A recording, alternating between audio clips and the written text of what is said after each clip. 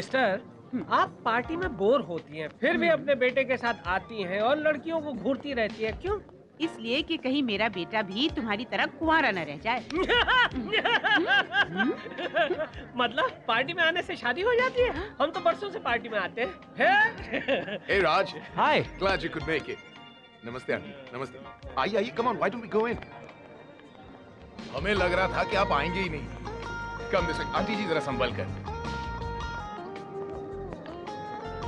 Excuse me Mehta साहब इनसे मिलिए। ये है मिसेस गोयल नमस्ते। और ये इनके बेटे mister Raj Goyal hi He's probably the youngest but definitely the most famous lawyer of our country, huh?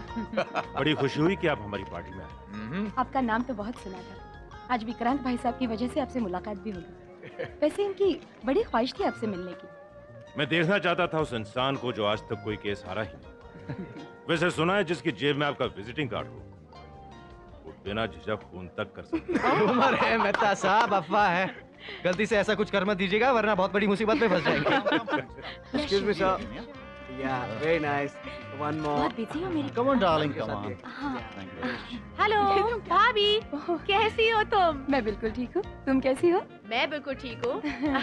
Oh hello hello क्या नाम है बेटा तुम्हारा? जी मेरा नाम याना है। याना? अच्छा अच्छा।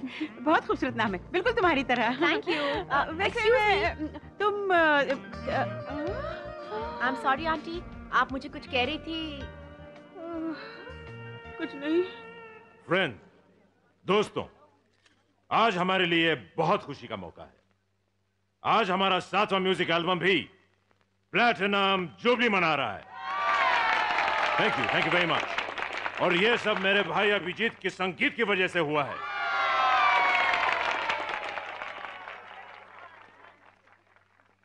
स्काई ऑडियो कंपनी को आसमान की इस बुलंदी पर पहुँचाने में दो और लोगों का भी बहुत बड़ा हाथ है। एक है मशहूर music video director mister Vikrant Kapoor. Abhijeet Mehta तो साहब थैंक यू। और दूसरी वो हैं जिनकी सुरीली आवाज़ और दिल का का जादू। है हम सब के दिलों पर छाया हुआ है। संगीत की दुनिया का सबसे रोशन सितारा Sargam.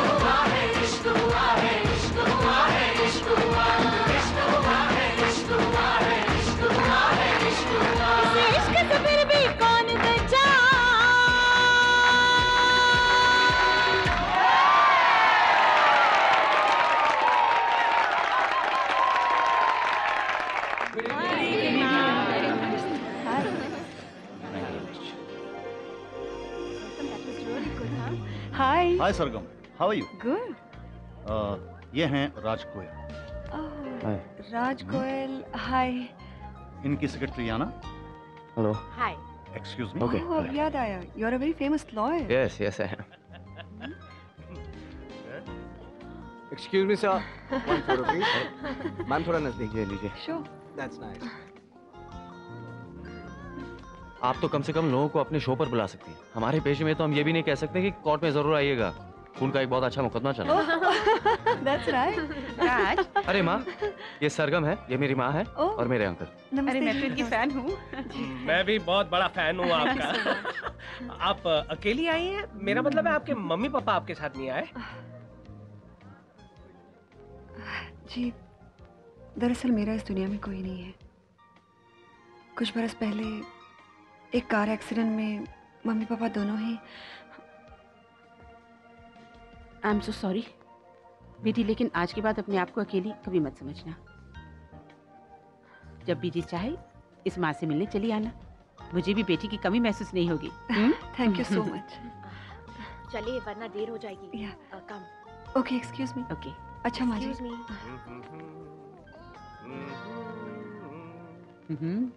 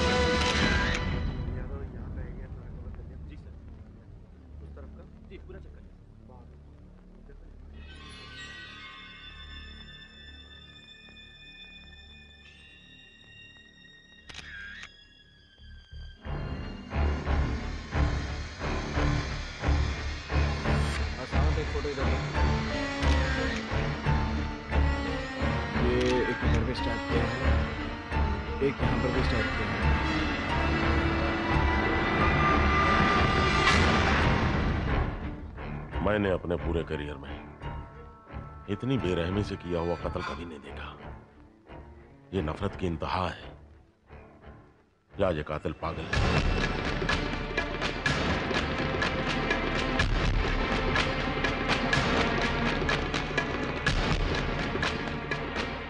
हेलो?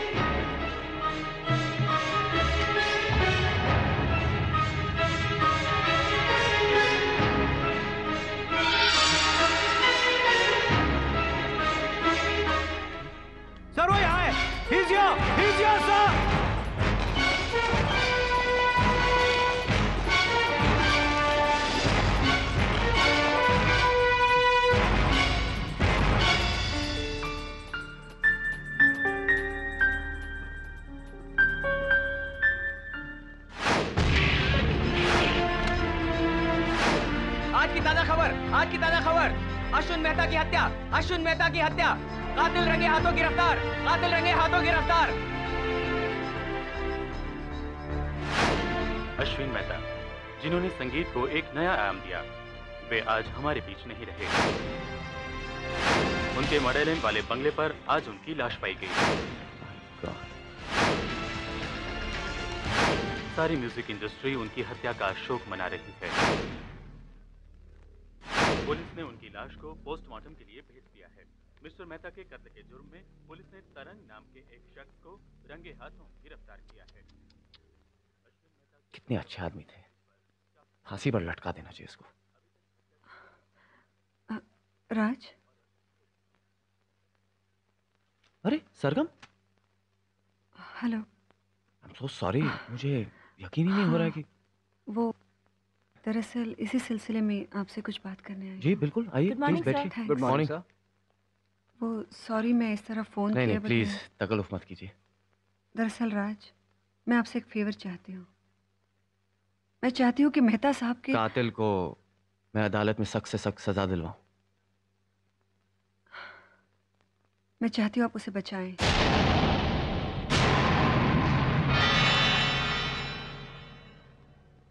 किसी का खून नहीं कर सकता राज।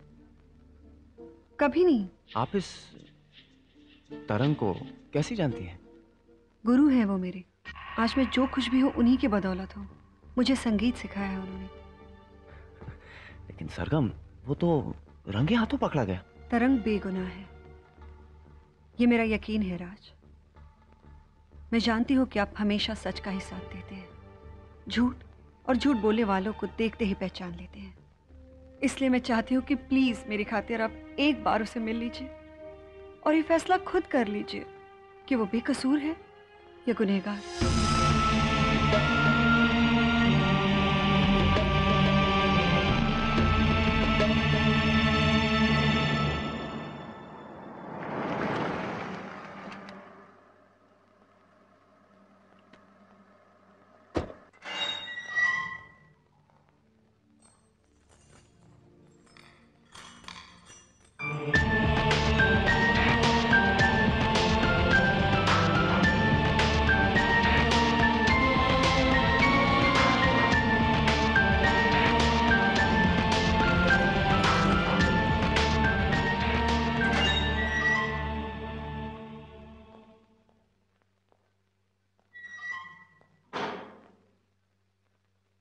मेरा नाम राज है।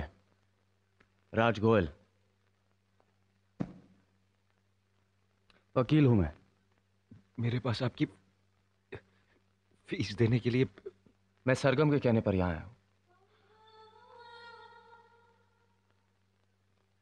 मुझे पता था कि सरगम मेरा साथ ज़रूर देगी। अच्छा ये बताओ तरंग ये खून तुमने क्यों किया? मैं, मैंने कुछ नहीं किया sir.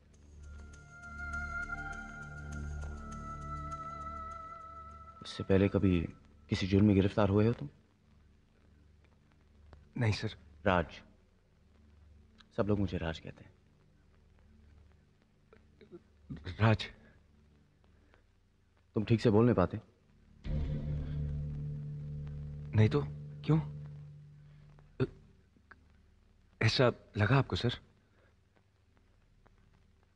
Just call me Raj I don't like formalities इसका मतलब ये खून तुमने नहीं किया। सेठ जी तो बहुत अच्छे आदमी थे। इस शहर में जो मेरे सर पर छत है, वो उन्हीं की मेहरबानी थी।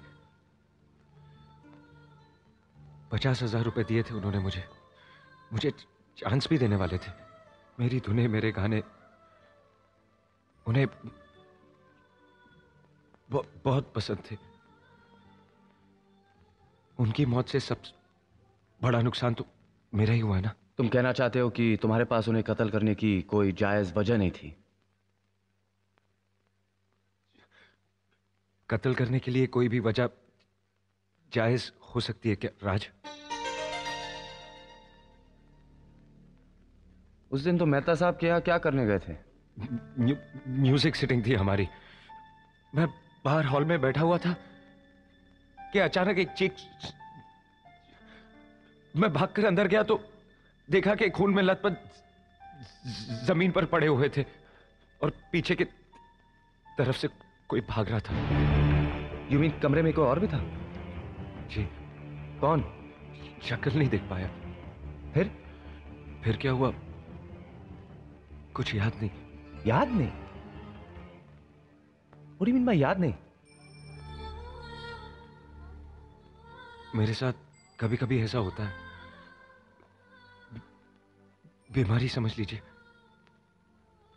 अचानक आँखों के सामने अंधेरा छा जाता है। कुछ देर के लिए बिल्कुल होश नहीं रहता मुझे। कुछ याद नहीं रहता तुम्हें?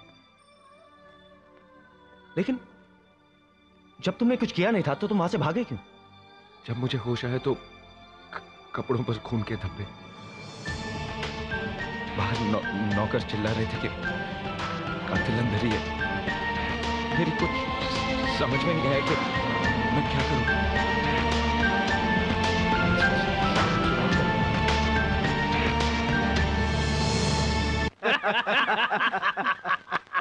अच्छी है। ये भूलने की बीमारी अच्छी है। ऐसा होता है मामा जी। देखिए मैं चाय में शक्कर डालना भूल गया।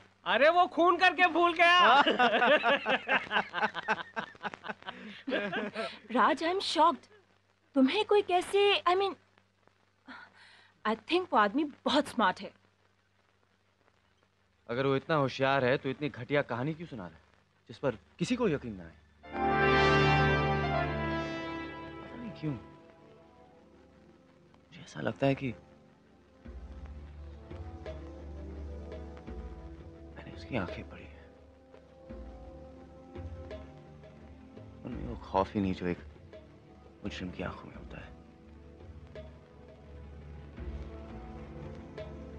सोनिया तुम किसी साइकाट्रिस्ट को जानती हो? उस हादसे के वक्त वो लड़का शायद फ्यूज स्टेट में चला गया होगा। फ्यूज स्टेट किसी भी दिमागी बीमारी के कारण जब इंसान अपनी याददाश्त कुछ देर के लिए खो बैठता है उसे फ्यूज स्टेट कहते हैं। फॉर एग्ज़ाम्पल कई लोगों को नींद में चलने की बीमारी होती है। उन्हें याद ही नहीं रहता है कि वो एक जगह से चलकर दूसरी जगह कैसे पहुँच गए। जैसे मिर्गी की बीमारी उसमें भी आदमी को जब दौरा पड़ता है तो वो फ्यू स्टेट में पहुँच जाता है। उसे कुछ याद ही नहीं रहता। डॉक्टर साहब मुझे इस केस में आपकी मदद की ज़रूरत है। Would you be interested? Relax Tarang ये कैमरा मैं अपने लिए लगा रही हूँ। हम्म? ताकि ये कैसेट में बार बार देख कर स्टडी कर सकूँ। ओके काफ़ी गर्मी है ना यहाँ हम्म? कुछ बात करो। अपने बारे में, गाँव के बारे में, अपने माता पिता के बारे में। बाबूजी, शास्त्रीय संगीत के बहुत बड़े गायक थे। उनकी आवाज़ में जादू था। मैं घंटों उनका संगीत सुना करता था। सात आठ साल का था मैं। जब वो इस दुनिया से चले गए उनकी मौत का ऐसा सदमा लगा मेरी माँ को कि वो पूरा पूरा दिन गाँव में उन्हें ढूंढती रहती। फिर?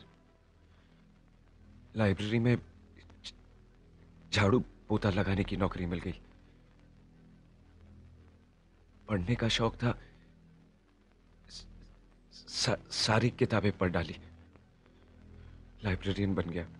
बस एक माँ की चिंता लगी रहती थी कि खाना खाया होगा कि नहीं उसने। लेकिन एक दिन सारी चिंताएँ खत्म हो गई। कुएँ में से लाश मिली उसकी।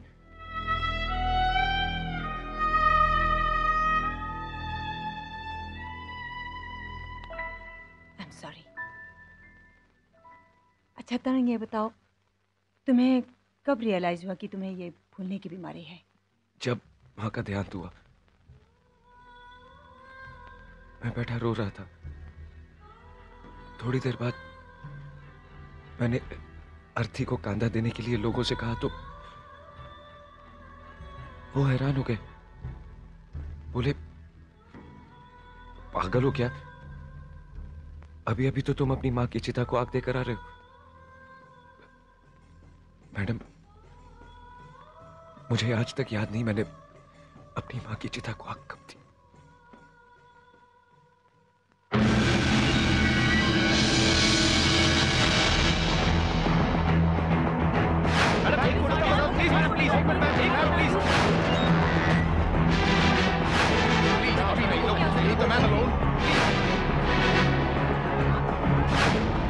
मेरे ख्याल से राज गोयल ने ज़िंदगी की सबसे बड़ी गलती की है ये केस लेकर क्या आपको लगता है तरंग निर्दोष सच्चाई बहुत जल्द सबके सामने आ जाएगी और मेरा मानना है कि जीत हमेशा सच्चाई की है। अरे हटिए आप लोग चलिए चलिए उधर चलिए चलिए हटिए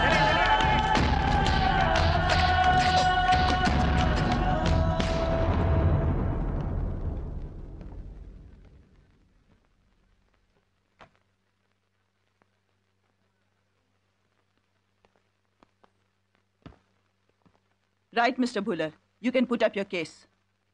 Your Honor, कुछ भी कहने से पहले मैं ऑनरेबल कोर्ट को चंद तस्वीरें दिखाने की इजाज़त चाहता हूँ Yes.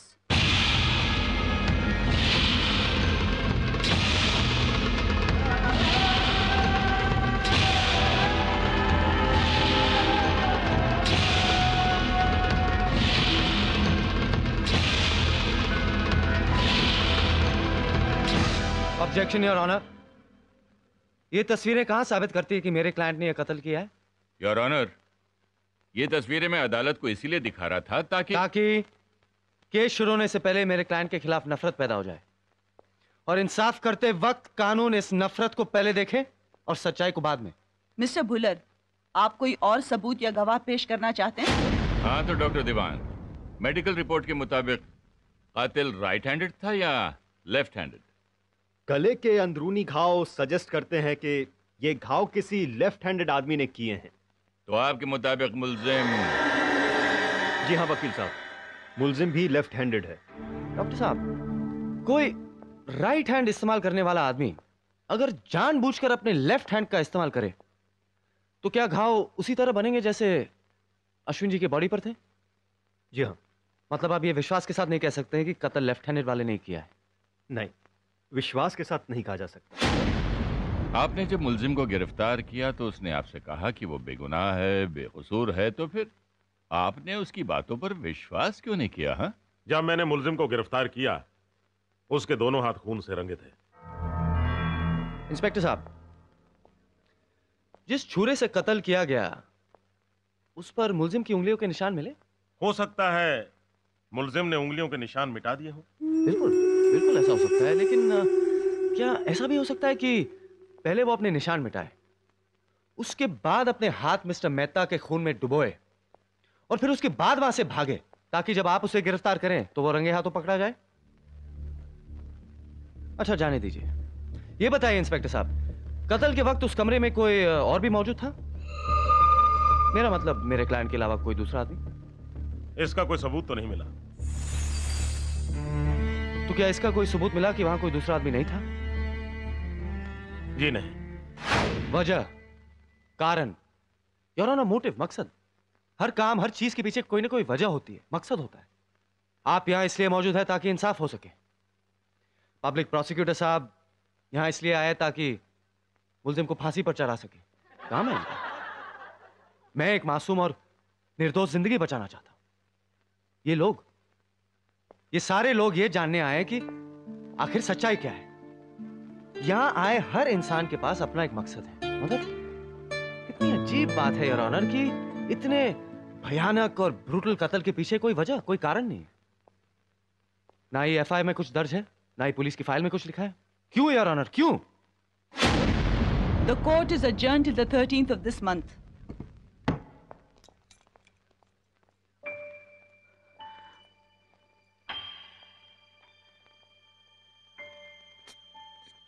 Thank you Sargam Tarun क्या हो गया तुम्हें? तुम ऐसे क्यों बात कर रहे हो? कैसे? तरुण तुम बिल्कुल फ़िक्र मत करो। मैं हूँ ना। तुम्हें कुछ नहीं होने दूँगी। मैं तुमसे मिलने आया करूँगी जेल में।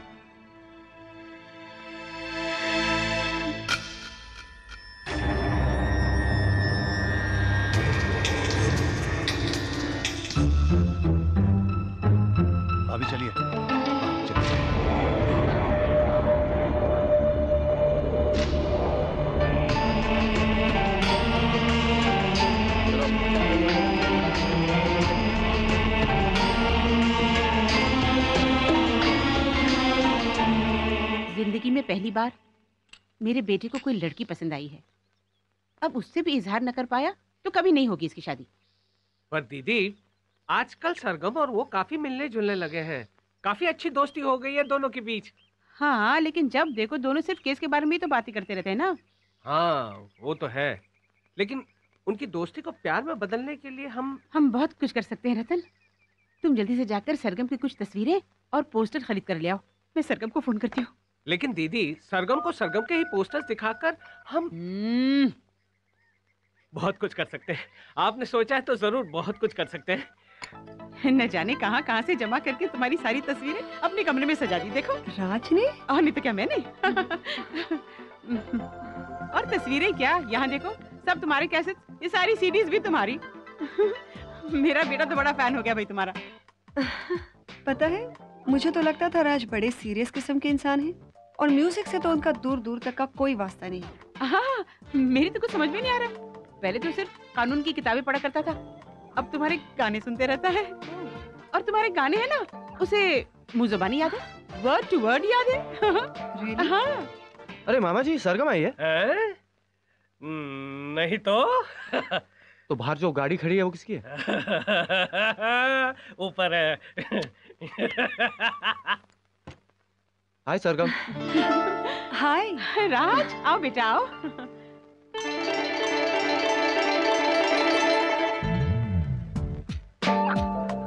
अरे क्या सोच क्या रहा है? आजा आजा। कैसी हो माँ? क्या है ये सब चक्कर? चाय चाय चाहिए ना? मैं अभी लाती हूँ बस अभी। हम्म।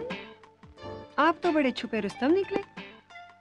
छुप छुपा रुस्तम। ऑफ़ कोर्स कभी मुझे बताया क्यों नहीं कि आपको मेरे गाने इतने पसंद हैं? हाँ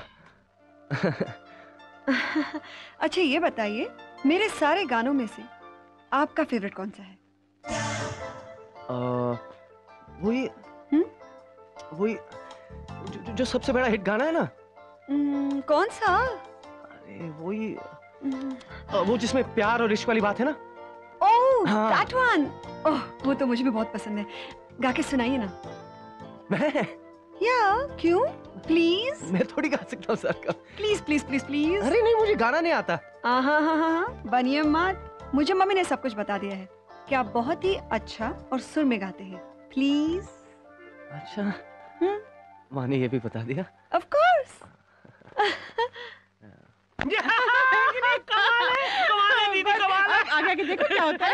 हाय मामा जी। याना की बच्ची यहाँ कैसे आ गई? दरवाजे से खुला था।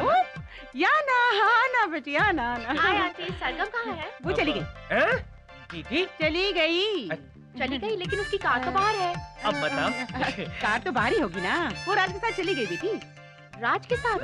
कमाल है। हाँ। उसने मुझे यहाँ पर बुलाया और अब घर पे बुलाया। घर पे बुलाया? हाँ गाड़ी लेकर। गाड़ी लेकर? हाँ फ़ौरन अभी इसी वक्त गाड़ी लेकर। अब, एम श्योर कोई ज़रूरी काम होगा। हाँ बहुत ज़रूरी काम है। ओके। दे- देखो अब तो तुम्हें जाना है लेकिन नेक्स्ट टाइम जब तुम आओगी ना चाहे तुम्हें जितनी भी जल्दी होगी मैं तुम्हें चाय पिलाए बगैर नहीं जाने दूँगी। Okay thank you thank you bye दीदी ये आपने क्या किया? सरगम ऊपर है और कार भिजवा दी? अगर ये उसकी कार नहीं ले जाएगी तो राज उसे घर छोड़ने कैसे जाएगा? हाँ। क्या क्या बात है दीदी क्या? आजा आजा। अगर राज नहीं किया तो? हे वो देखो वहाँ पर मेला लगा हुआ है। पता है राज हाँ। बचपन में ना मुझे मेले में जाना बहुत पसंद था। अच्छा। In fact was crazy about it और मन तो आज भी करता है जब भी मेला देखती हूँ कि बस चली जाऊँ। अगर क्या करूँ? पता है राज तरंग के बाबूजी थे ना? वो मुझे बहुत प्यार करते थे। गाँव में जब भी कभी मेला लगता वो मुझे अपने साथ ज़रूर ले जाते।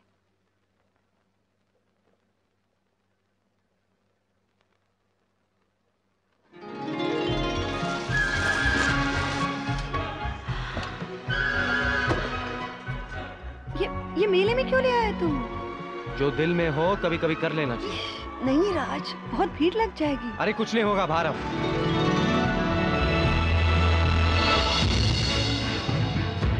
अरे सरगम। देखना ये सरगम है। सरगम दिखती है तेरे को। वैसी लगती है सरगम नहीं है। हाँ हाँ। ये तो है यार।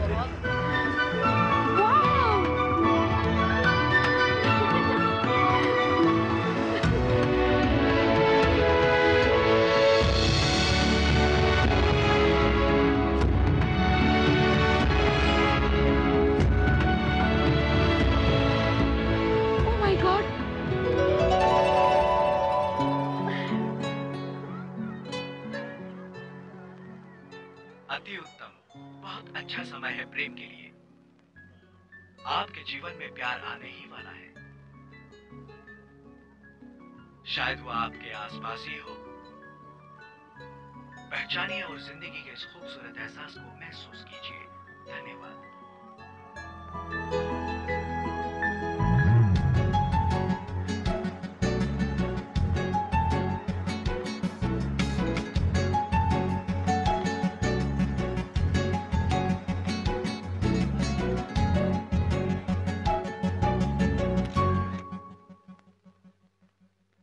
तरंग कुछ सरगम के बारे में बताओ।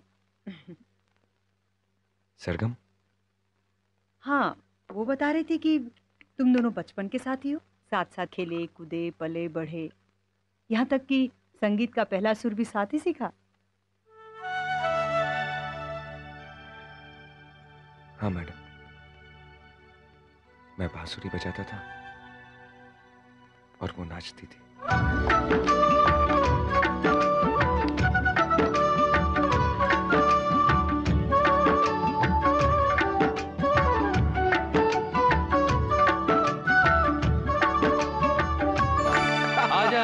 आजा आजा आजा बेटा। खूब जोड़ी है दोनों की। भाई बद्री मन्ने तो ये लागे है कि थारी छोरी और मारा छोरा दोनों एक दूसरे के लिए ही बने। भाई मारो तो काम आसान हो गयो। अब ब्याह के लिए छोरा ढूँढने की ज़रूरत कोनी। क्यों तरंग बनेगा मेरा जमाई। हम्म? करेगा मेरी सरगम से ब्याह। अरे बोलना के पूछ रहे चाचा? फिर अलग होना पड़ा हम दोनों को। शहर में उसके पिताजी की नौकरी लग गई थी। ओह तब तो तुम्हें बहुत दुख हुआ होगा। फिर क्या किया तुमने? अरे छोड़ दे छोड़ दे छोड़ छोड़ दे छोड़ दे अरे छोड़ ना बेटा यो के कह रहे हो? है ये कह रहे हैं कि ये चली गई तो फिर ब्याह किसके साथ करेगा? अरे थारा ब्याह सरगम के साथ ही होवेगा पहले बड़ा तो हो जा। अरे जा भाई चल, चल, चल। तेरी गाड़ी निकल गई तो घणो चक्कर पड़ जावेगो मैं पहुँच के चिट्ठी लिखूँगा। हाँ हाँ पहुँच के राज़ी खुशी की खबर दे दिए।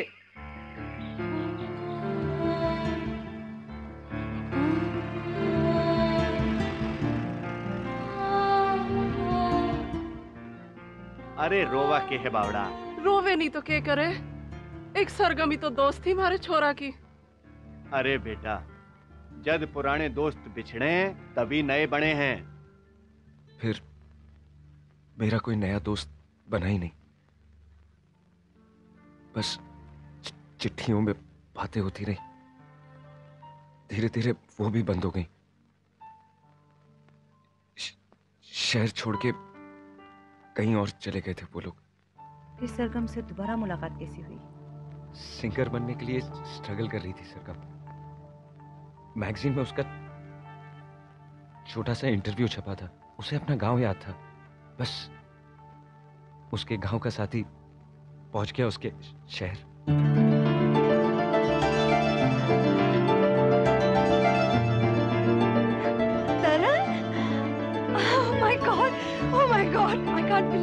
याना याना ये तरंग है मेरा बेस्ट फ्रेंड माय मेरे बचपन का साथी।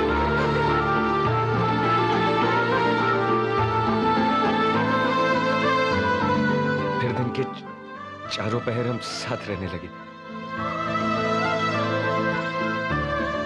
बातें खत्म नहीं होती थी उसकी। कब सुबह से शाम हो जाती, पता ही नहीं चलता। एक दिन कहने लगी, तुम्हारी आवाज़ सुनती हूँ तो खो सी जाती हूँ। ऐसा लगता है कि मुझे तो गाना बिल्कुल आता ही नहीं।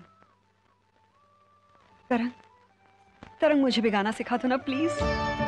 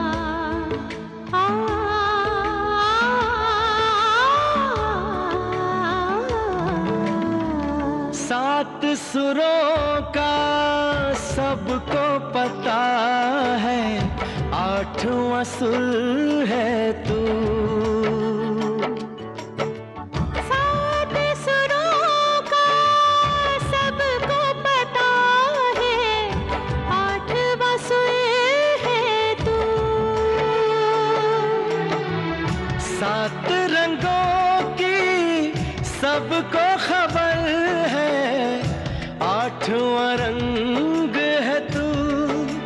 हो। आठवां रंग है तू।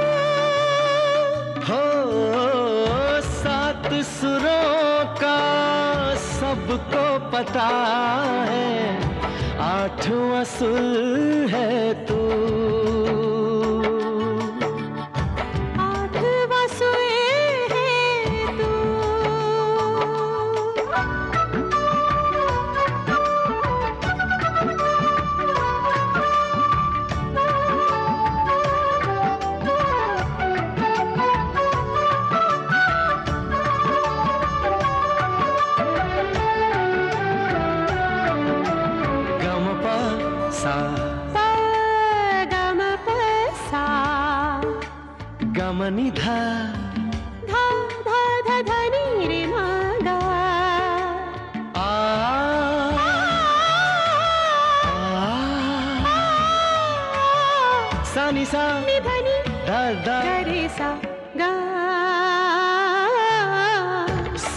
और ताल में डूब जा साथी।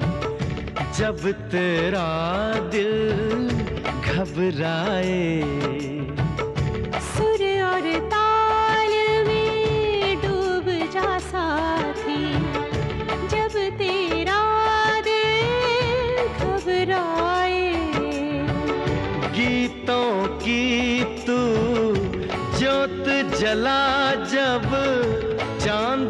नज़र न आए। एक चंदा का सबको पता है दूसरा चाँद है तू।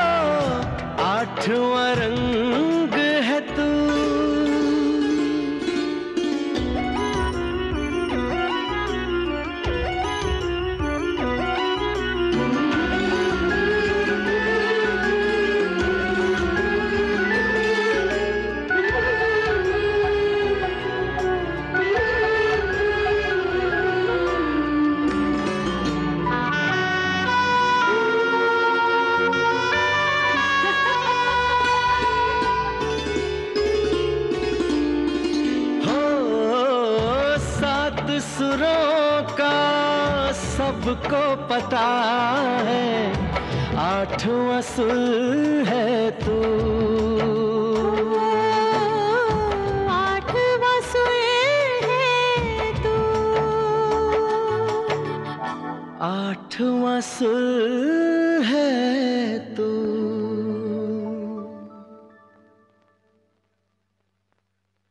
सरगम ने बिल्कुल सही कहा। तुम बहुत अच्छा गाते हो। ये गाना भी तुमने ही लिखा? जी। सरगम के लिए? उसे बहुत चाहते हो ना? आपको क्या लगता है? वजह मकसद कारण मोटिव। चार बार यंग जीनियस लॉयर ने ये पॉइंट उठाया और चारों बार कोर्ट एडजन हो गई। आज मैं वजह बताऊँगा। ये डायरी आपकी है? मैंने पूछा ये डायरी आपकी है? गुड म्यूजिकल नोट्स संगीत की भाषा। संगीत आपका है? मैं पूछ रहा हूँ संगीत आपका है? जी। और ये जो गाने हैं ये आपने लिखे? इन सीडीज में जो गाने हैं वही गाने उस डायरी में भी लिखे हैं ना? लेकिन म्यूज़िक डायरेक्टर का नाम अभिजीत मेहता।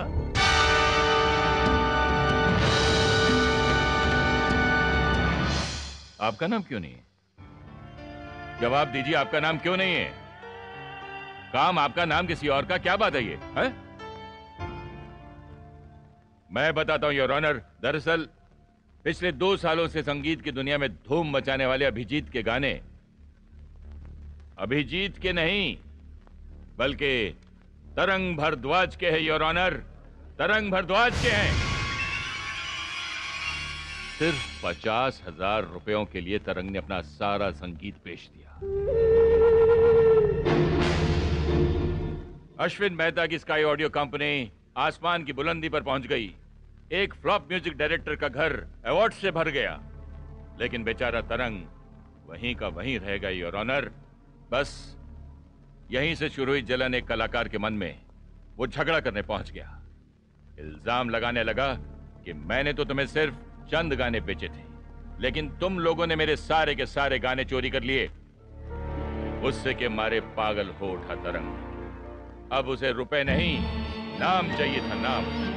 कहने लगा, एक दिन तुम खुद अपने मुँह से कहोगे, ये सारा संगीत मेरा देखिए, आज हम खुद कह रहे हैं ये सारा संगीत तरंग का। अभिजीत मेहता ने अपने भाई के कातिल को सजा दिलवाने के लिए बहुत बड़ी कुर्बानी दी है। उसने अपना करियर, अपना नाम, अपनी शौहरत सब कुछ अपने हाथों से मिट्टी में मिला दिया। सिर्फ़ इंसाफ के लिए योर ऑनर सिर्फ़ इंसाफ के लिए।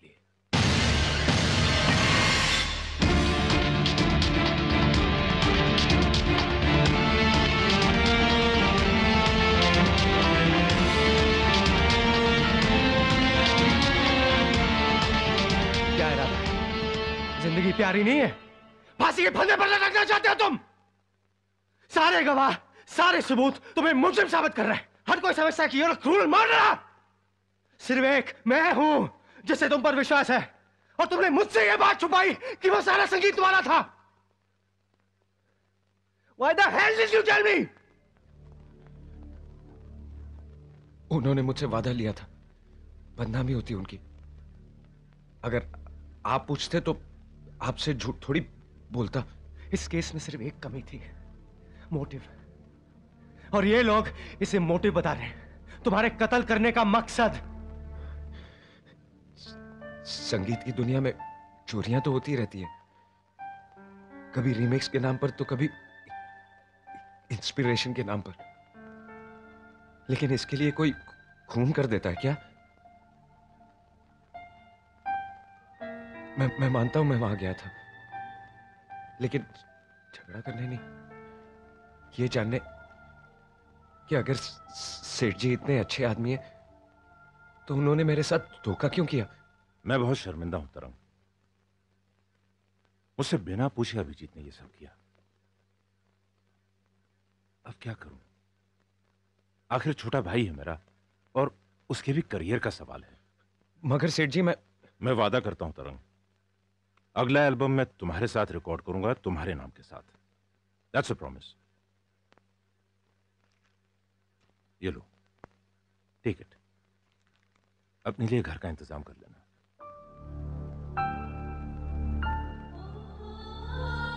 मैंने सोचा कि एक बार यहाँ रहने का ठिकाना हो जाए तो संगीत तो मेरे खून में है। अगर बाबूजी का आशीर्वाद रहा और माँ सरस्वती की दया तो और बना लूँगा गाने। मैं सच कह रहा हूँ, राज, मैंने खून नहीं किया। तुम्हारी ज़िंदगी और मौत के बीच अगर कोई है तो वो मैं हूँ। मुझसे इस तरह बातें छुपाते रहोगे तो बड़ी मुश्किल हो जाएगी। और मुझसे ज़्यादा तुम्हारे लिए। समझ रहे हो ना?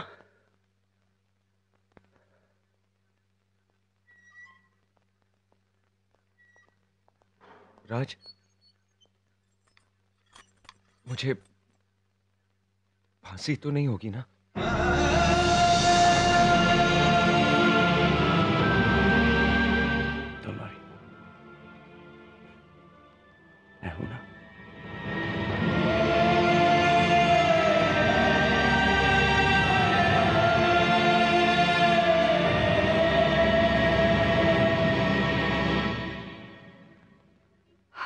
केस जीत तो जाएँगे ना राज? हारना तो मैं अफोर्ड ही नहीं कर सकता सर क्योंकि अब सवाल सिर्फ़ मेरी इज़्ज़त का नहीं तरंग की ज़िंदगी का है। मैं अपनी जान लगा दूँगा पर उसे इंसाफ दिला कर ही रहूँगा। मुझे बहुत खुशी हुई राज कि तुम जैसे अच्छे इंसान से मेरी दोस्ती हुई। आज तरंग का दुख मैं तुम्हारी आँखों में देख रही हूँ और तुमने तो उसके लिए अपनी फ़ीस तक नहीं ली। फ़ीस तो मैंने तुम्हारे लिए नहीं ली सर। मेरे लिए? हाँ तुमसे दोस्ती जो होगी। और एक दोस्त होने के नाते मेरी एक परेशानी में तुम्हें मेरी मदद करनी होगी। परेशानी? और तुम्हें? दरअसल ये जो प्यार इश्क होता है ना उसे आज तक बहुत बेकार की चीज़ समझता था लेकिन किसी से मिलने के बाद पहली बार मैंने जाना।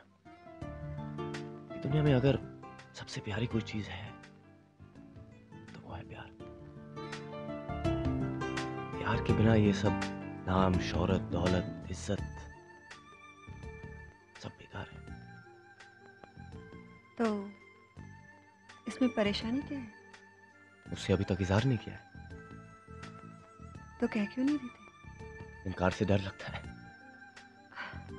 लेकिन इजहार के बगैर पता कैसे चलेगा? अच्छा मान लो अगर मैंने उसे कह दिया तो मुझे कैसे पता चलेगा कि वो मुझसे प्यार करती है नहीं? अगर वो शर्माती है तो मतलब हाँ। और अगर वो रूट कर चली जाती है तो मतलब ना।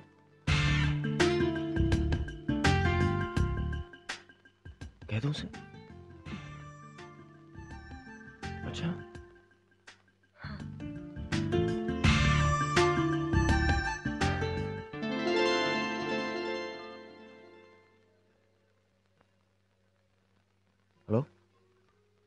हाय मैं बोल रहा हूँ।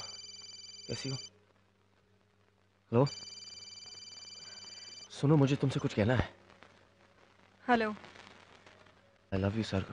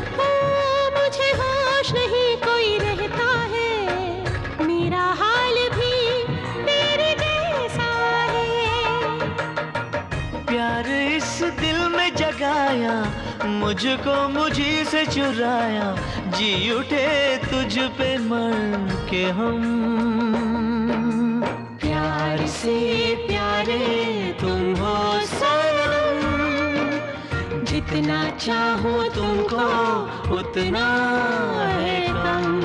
ओ, आ, ओ,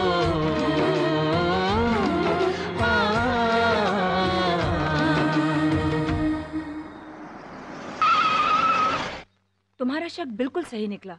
मिसेस मेहता अपने पति के कत्ल के बारे में ज़रूर कुछ जानती हैं। हाँ राज उसके और उसके देवर अभिजीत के बीच में जो बहस चल रही थी ना वो मैंने रिकॉर्ड कर ली। हमने रिकॉर्ड कर ली। आई थिंक अगर तुम उनसे जाके मिलो तो हमें ज़रूर कोई इम्पोर्टेंट बात पता चल सकती है। बिल्कुल। वो ये नहीं चाहेगी कि जो बातें अकेले में की जा सकती है वो भरी अदालत में सबके सामने हो है? कुछ अकल वकल है कि नहीं आपको भाभी? उस कमीने तरंग को देखकर आखिर क्या हो जाता है आपको? क्यों नज़र नहीं मिला पाती आप उससे? क्यों अदालत से उठकर चले गई आप। इसलिए अभिजीत कि तुम्हारे भाई को उसने नहीं मारा बल्कि उन्होंने जो किया था उसकी सजा दी है ऊपर वाले ने उन्हें। प्लीज़ भाभी इस तरह की बातें आप फ़ोन पे मत कीजिए। ऐसा क्या किया था आपके पति ने मिसेस मेहता जिसकी सजा उन्हें मिली? ज़रूर ऐसी कोई बात है जिसे बताना आपके लिए आसान नहीं। प्लीज़ रिश्तों के बंधनों से आज़ाद होकर सच का साथ दीजिए। आपके पति अब इस दुनिया में नहीं रहे। लेकिन उनके कत्ल के इल्ज़ाम में जो आदमी फंसा है वो ज़िंदा है। प्लीज़ सच बताइए। बताइए सच क्या है? क्या बताऊँ मैं आपको? जिस रोज आप हमारी पार्टी में पहली बार आए थे उसी रात की बात है। आओ सरगम आओ। लेट्स सेलिब्रेट आवर सक्सेस आज तो तुम्हें हमारे हाथों एक जाम पीना ही पड़ेगा। इस मासूम मुस्कुराते चेहरे के पीछे कितना घिनौना चेहरा छुपा हुआ है। मैं आज के बाद आप लोगों के साथ काम नहीं करूँगी। Hey, Sargam Sargam come on P हमने है और बैग तुम रही हो look honey you got a face तुम अश्विन साहब की खोज हो और आज तुम जहाँ भी हो इन्हीं की वजह से हो। यस सरगम। अगर इसके बदले में भाई साहब तुमसे थोड़ी सी दोस्ती करना चाहते हैं तो इसमें गलत क्या? है? हाँ हाँ अभिजीत। भले ही आपको संगीत का स भी ना आता हो पर अपने भाई के लिए लड़कियों को कन्विंस करना ज़रूर आता है। वैसे आप संगीत छोड़ के अपने भाई के लिए यही काम क्यों नहीं करते? अभिजीत इस साली को पहले ही दिन बिस्तर पर लिटा दिया होता तो आज इतनी जबान नहीं चलती कमसार की।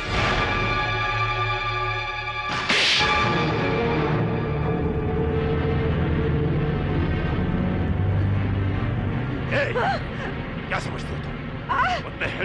yourself? इस मुस्कराते चेहरे के पीछे कितना घिनौना चेहरा छिपा है। अभी तूने देखा? अभी देखा?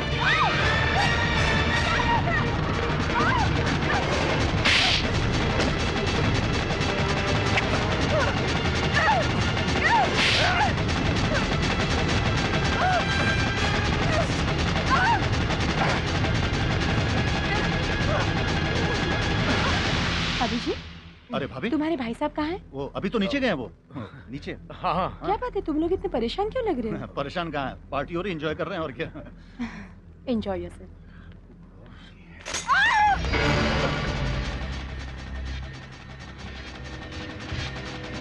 अभी नीचे लेके जाना इनको। हटो यहाँ से हटो अभिजीत अरे सुनो अरे भाभी!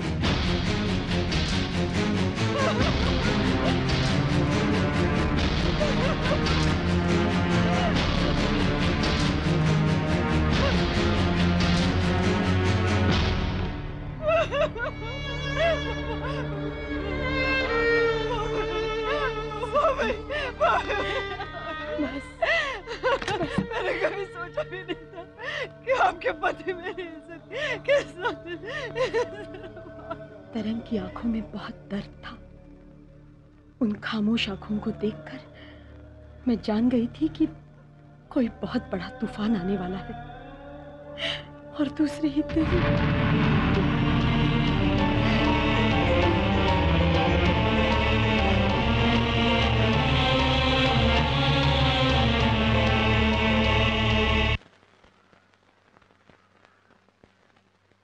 तुमने अब तक मेरे सवाल का जवाब नहीं दिया।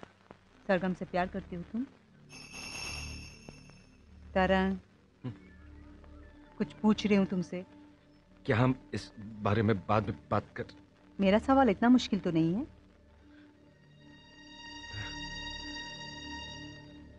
क्या बात है? मेरे सिर में दर्द है। अच्छा। हम्म।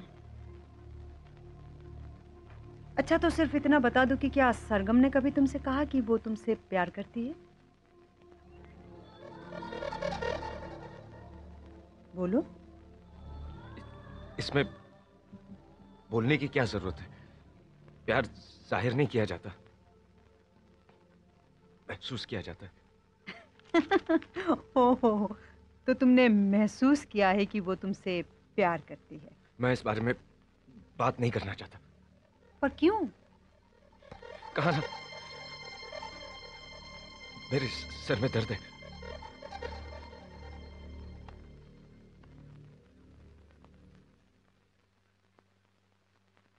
सो तरंग साहब और क्या क्या महसूस करते हो? चुप साली! बकवास करती हराम खोर चीर के रख दूँगा।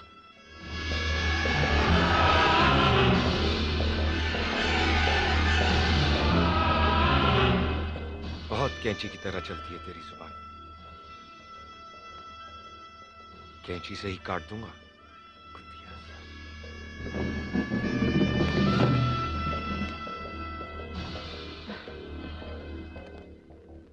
Hello doctor. जिसका मुझे डर था वही हुआ। तरंग स्प्लिट पर्सनालिटी का शिकार है। स्प्लिट पर्सनालिटी हाँ। एक ही इंसान के बिल्कुल दो अलग रूप। तरंग ने ज़िंदगी में बहुत दुख देखे हैं।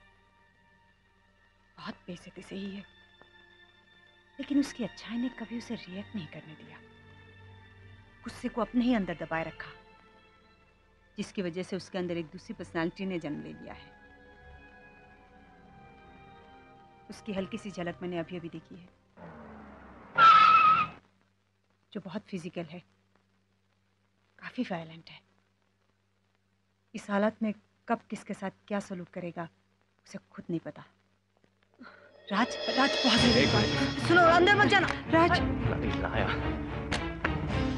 कार? धोखेबाज? राज तुमने झूठ बोला मुझसे कि तुम बेगुनाह हो। राज राज। ए नौटंकी! बहुत हो गया तुम्हारा ये ड्रामा। बोल। बोल क्या खून तूने किया। है बोल! ए वहाँ क्या देख रहे हो मेरी तरफ़ देखो। देखता रहा मैं जानता हूँ तू जानता है सच्चाई क्या है। अब मैं तेरी ज़ुबान से सुनना चाहता हूँ। बोल बोल राज मैंने कुछ नहीं किया। कुछ नहीं किया। झूठ! You're a liar! You're a cold-blooded नहीं। और मैं एक मुस्लिम को निर्दोष साबित कर रहा हूँ। पहली बार ज़िंदगी में एक झूठा केस लड़ रहा हूँ मैं। नहीं मैंने कुछ नहीं किया। तूने सोच समझकर पूरे होशोवास में खून किया है। नहीं मैंने कुछ नहीं किया कुछ नहीं किया कुछ नहीं किया। झूठे हो कातिल हो गुनहगार हो तुम। चुप!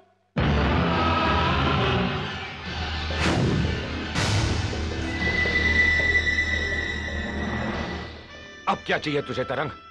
जब देखो बच्चों की तरह रोता हुआ चला आता है मेरे पास कोई इज़्ज़त विज्जत है कि नहीं तेरी?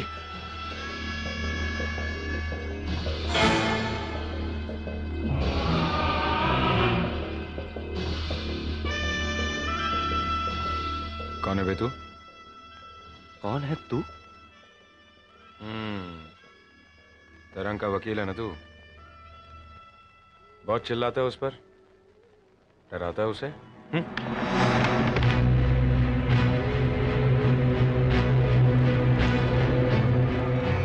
आज के बाद उसे डराया या धमकाया तो चीर के रख दूँगा। हम्म।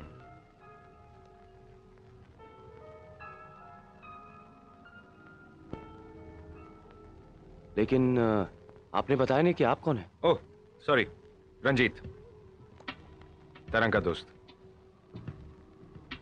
मेरी मदद के बिना कुछ नहीं कर सकता वो।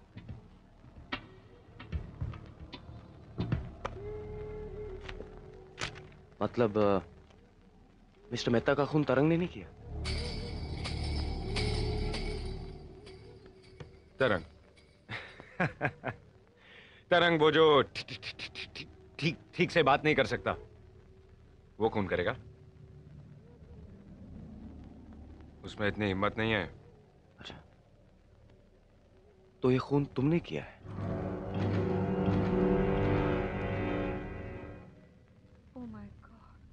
लेकिन क्यों?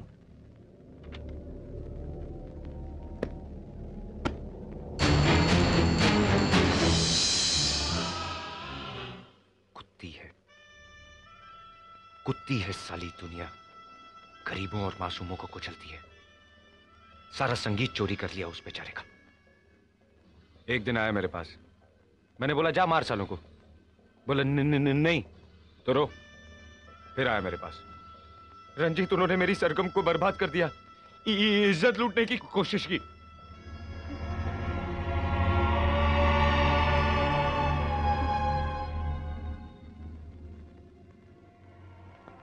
सरगम को अपनी बीवी मानता है वो।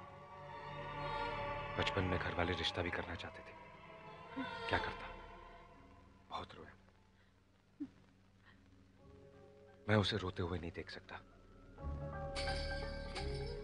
काट डाला साले को। चीर के रख दिया। छप्पन वार किए, छप्पन। साला, बहुत कमीना था। खून भी करा था उसका।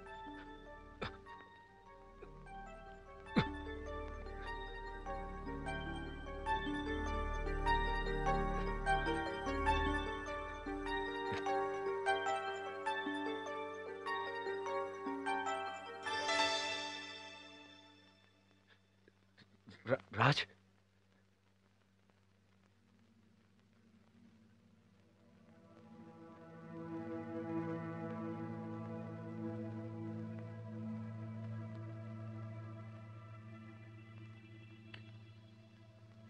क्या हुआ?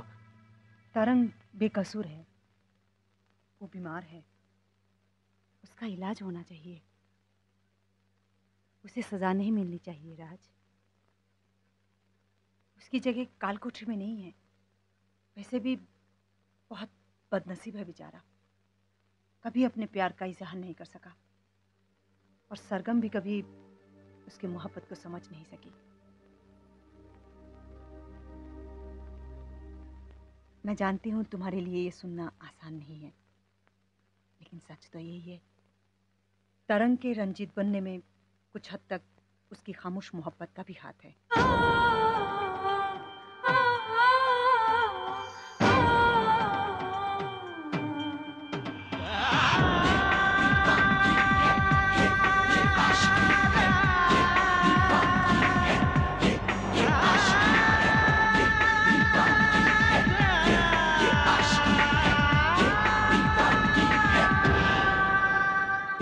आज भी मेरे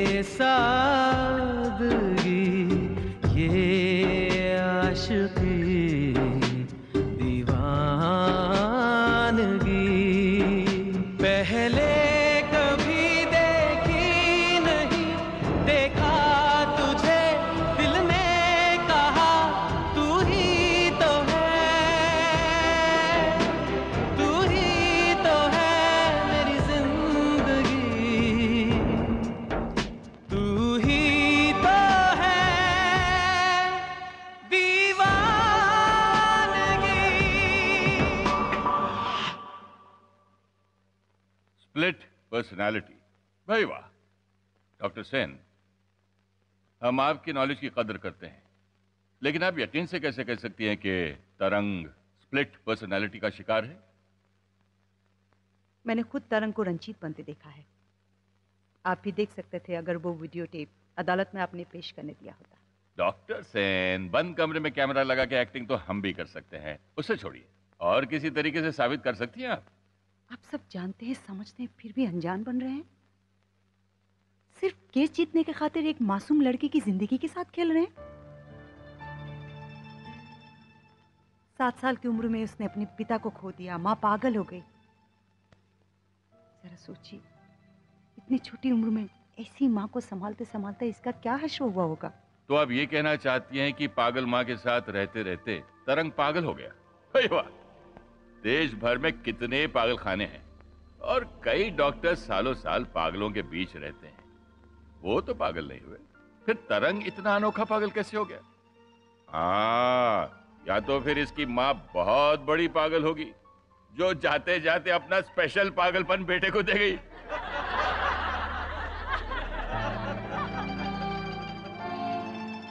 धन्य है वो माँ, जिसने ऐसे पागल को जन्म दिया जो कत्ल करके भूल जाता है।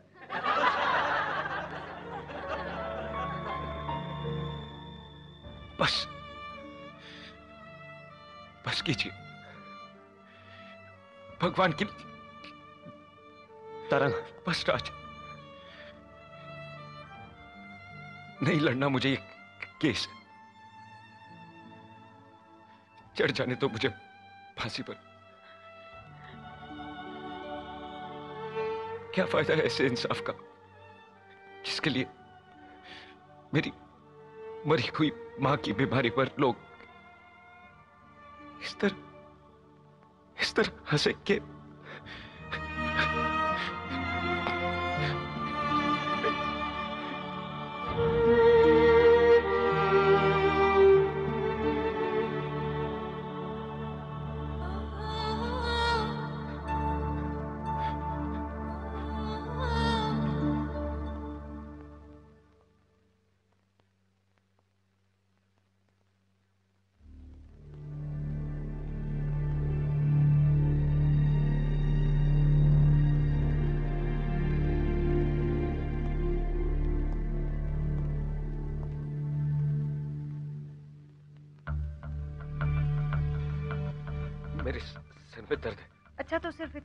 कि क्या सरगम ने कभी तुमसे कहा कि वो तुमसे प्यार करती है?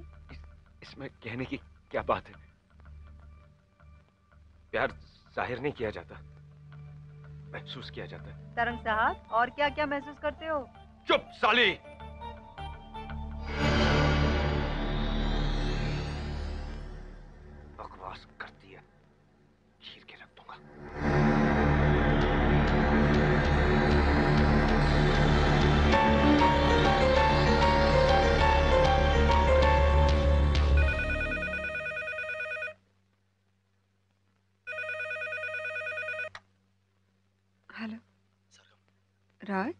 तरंग को बचाने के लिए हमारे पास सिर्फ़ एक ही रास्ता बचा है। हमें रंजीत को अदालत में लाना होगा। जिस रंजीत को हमने देखा है अगर जज ने भी देख लिया तो ये साबित हो सकता है कि वो दिमागी तौर पर बीमार है। मगर राज हम कैसे रंजीत को तुम उसकी फ़िक्र मत करो। मैंने कुछ सोचा है। बस अ, मुझे तुम्हारी मदद की ज़रूरत है। इसके लिए तुम्हें मुझसे पूछने की ज़रूरत है। मैं हमेशा तुम्हारे साथ हूँ Raj. I know thank you miss Sargam आपने अपने संगीत करियर की शुरुआत मिस्टर अश्विन मेहता की स्काई ऑडियो कंपनी से की है राइट यस जिस कंपनी ने आपको आसमान की बुलंदियों तक पहुँचाया आपने अचानक उसी कंपनी से अपना रिश्ता क्यों तोड़ लिया? इस बात का इस केस से क्या ताल्लुक है योर ऑनर ताल्लुक है योर ऑनर कुछ ही देर में पता चल जाएगा। Okay, Mr. Goel, continue. But get to the point quickly.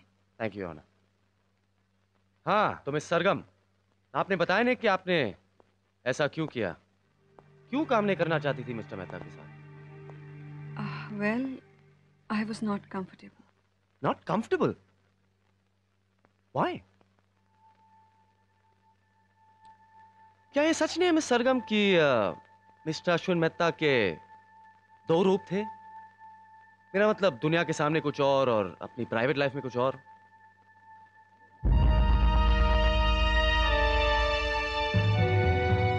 कहिए मिस सरगम क्या यह सच नहीं है कि मिस्टर मेहता की आप पर बुरी नज़र थी? रंजीत? स्काई ऑडियो कंपनी की पार्टी की रात मिस्टर मेहता ने आपका बलात्कार करने की कोशिश की थी। He try to molest you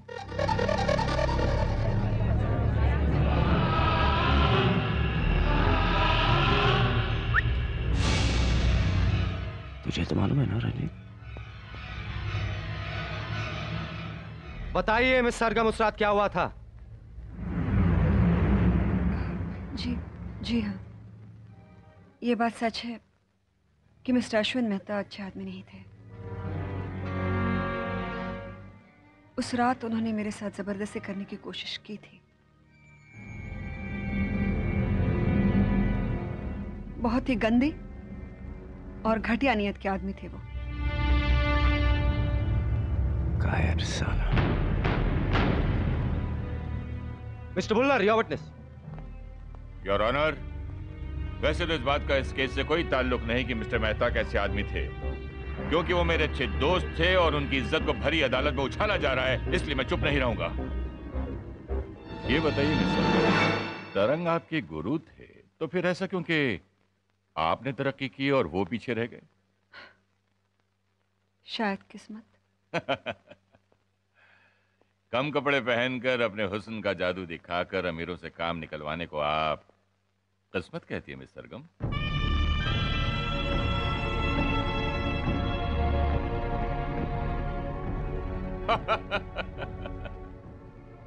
खूब किस्मत है ये। आपने अपनी खूबसूरती को कैसे कैश किया? मेहता साहब ने मुझे बताया था।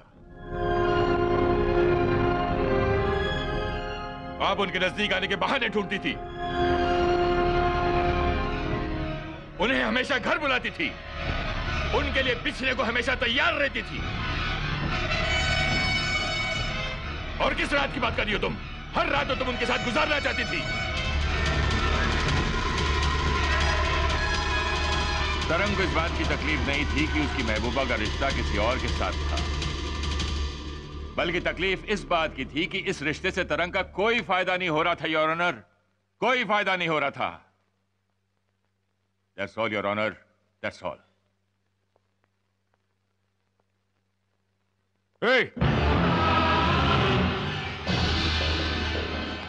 जाता कहाँ है साले कुत्ते? गले में पट्टा क्या बाँध दिया? कुत्ते की तरह भौके ही जा रहा है, भौके ही जा रहा है कुत्ते। तेरी तो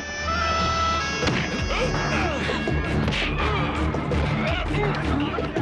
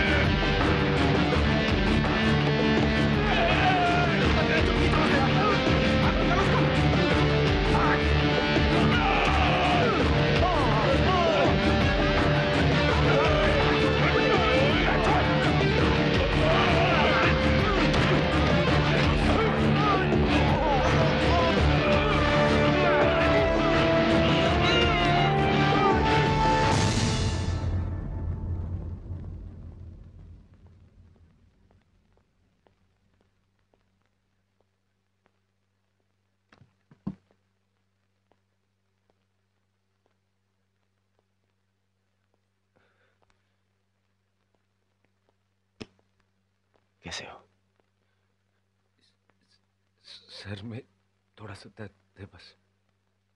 तुम्हें कुछ याद है? अभी थोड़ी देर पहले तुमने क्या किया? मैंने फिर कुछ गड़बड़ कर दी ना राज। तुमने जो भी किया अच्छा किया बहुत अच्छा किया। अदालत ने तुम्हें बरी कर दिया। अब तुम आज़ाद हो। बस तुम्हारे ठीक होने तक तुम्हें अस्पताल में रहना होगा। Thank you Raj. तुमने मुझ पर बहुत बड़ा एहसान किया। राज तु, तुम मेरे लिए भगवान क्या कर रहे हो तुम? सुनो मैंने तुम्हारे लिए कुछ नहीं किया। तुम एक अच्छे और सच्चे इंसान हो और जीत हमेशा सच की होती है। बस तरंग बस। अब तुम बिल्कुल फ़िक्र मत करना। मैं अस्पताल में मिलना आया करूँगा। बस तुम अपना ख्याल रखना ओके? मैं चलूँ?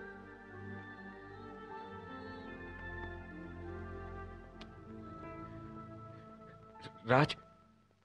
यप भुल्लर साहब की गर्दन? वो भी ठीक है ना? मेरी तरफ़ से उन्हें सॉरी कह दोगे? कह दूँगा।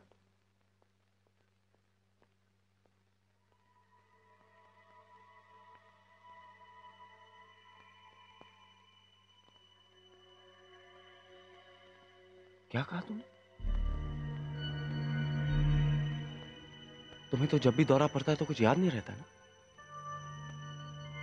तुम्हें यह कैसे याद है कि तुमने भुल्लर साहब की गर्दन दबाई? तरंग, में कुछ पूछ रहा तुमसे। Too many question too many question Raj go home enjoy your success. Chill out.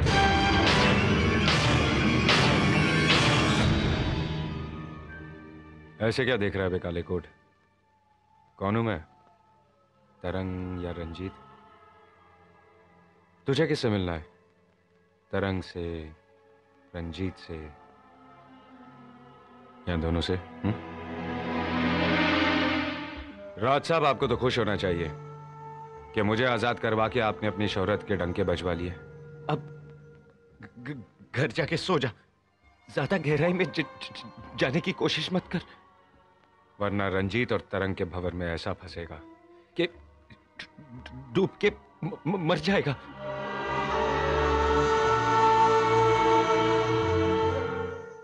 क्यों? 440 वोल्ट का झटका लगा। पुलिस ने रंगे हाथों गिरफ़्तार कर लिया था। इस बीमारी का सहारा नहीं लेता तो क्या करता? बड़े बूढ़े कहते हैं ना, कोई भी ज्ञान कभी जाया नहीं जाता। साली बरसों पहले गाँव की लाइब्रेरी में एक किताब पढ़ी थी। स्प्लिट पर्सनालिटी पे। कहाँ जाके काम आई?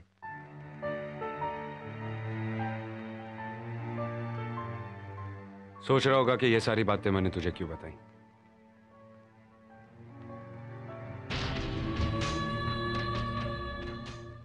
सरगम बहुत तारीफ़ करती है तेरी। बता रही थी कि मेरा केस लड़ने के लिए फ़ीस तक नहीं ली तूने। क्यों? सरगम को मैं अपनी बीवी मानता हूँ। उसकी तरफ़ कोई नज़र उठा के भी देखता है तो पागल हो जाता हूँ मैं। छप्पन बार चाकू चल जाता है और पता तक नहीं चलता मुझे। तू शरीफ आदमी है, इसलिए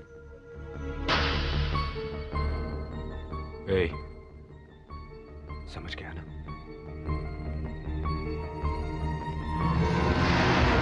दूर रहना उससे। अच्छा राज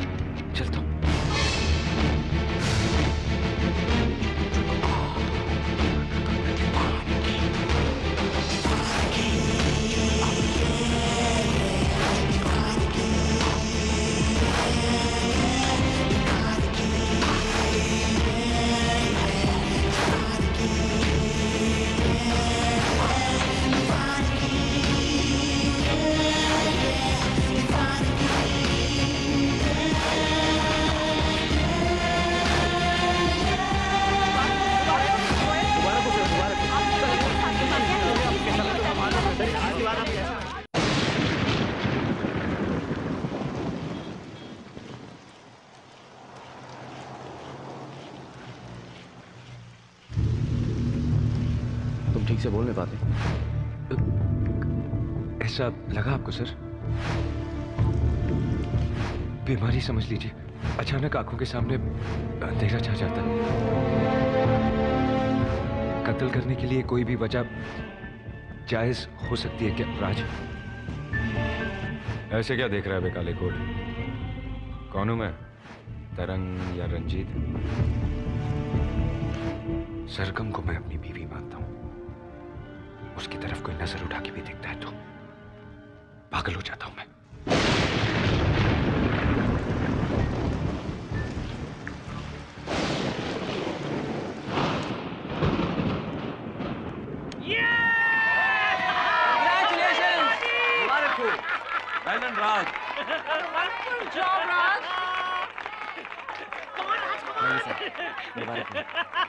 राज, आज तुमने प्रूफ कर दिया you the best law in the city yes yes सारे अखबारों में तुम्हारे फ़ोटो छपेंगे।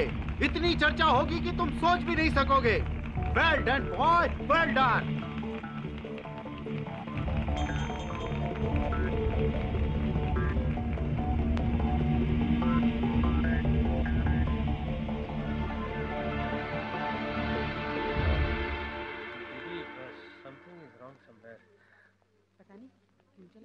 हाँ। Uh, well, uh, let's begin. Huh?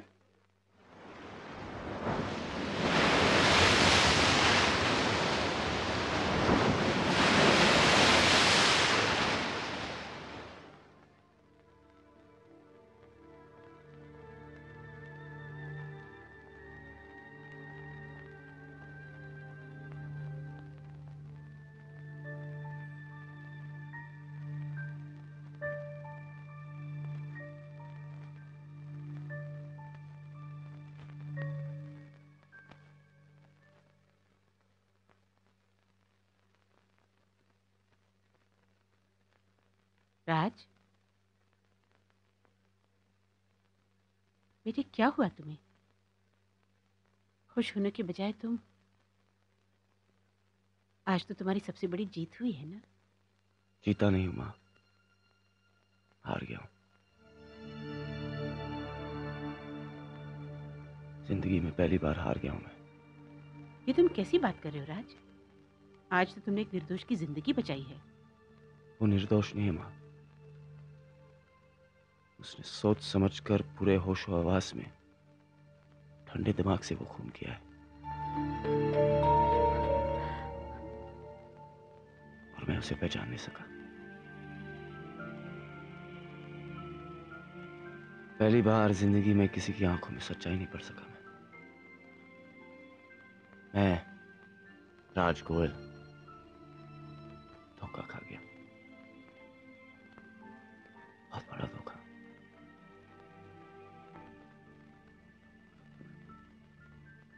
उसका केस लड़ नहीं रहा था वो अपना केस मुझसे लड़वा रहा था। स्प्लिट पर्सनैलिटी का शिकार नहीं है माँ। ऐसा कैसे कह सकते हो तुम राज? किसने कहा ये सब कुछ तुमसे? खुद उसने। राज ज़रूर कोई गलत फहमी हुई है तुम्हें। गलत फहमी थी आज तक। इस तरह को हम जानते हैं, वो एक झूठ है, फरेब है, एक धोखा है। वो सिर्फ़ रंजीत है, सिर्फ़ रंजीत है।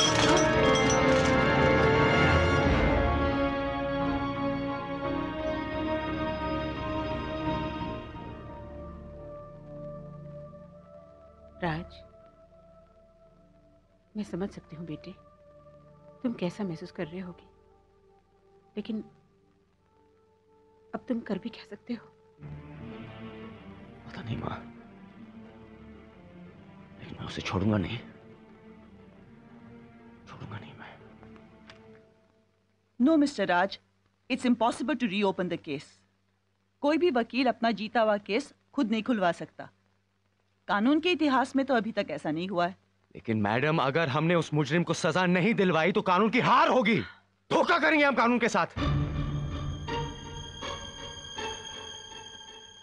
सॉरी राज, अब ये बात मेरे हाथ में नहीं रही। और मान लो हमने केस खुलवा भी लिया। तो राज, तुम जानते हो तुम्हारा क्या होगा? मैडम, मैं यूँ ही अपना पूरा करियर दाव पर नहीं लगा रहा हूँ। वो एक गुनेगार है, एक खतरनाक मुजरिम है वो। और अगर उसके लिए कोई जगह है तो वो है जेल, सिर्फ़ जेल।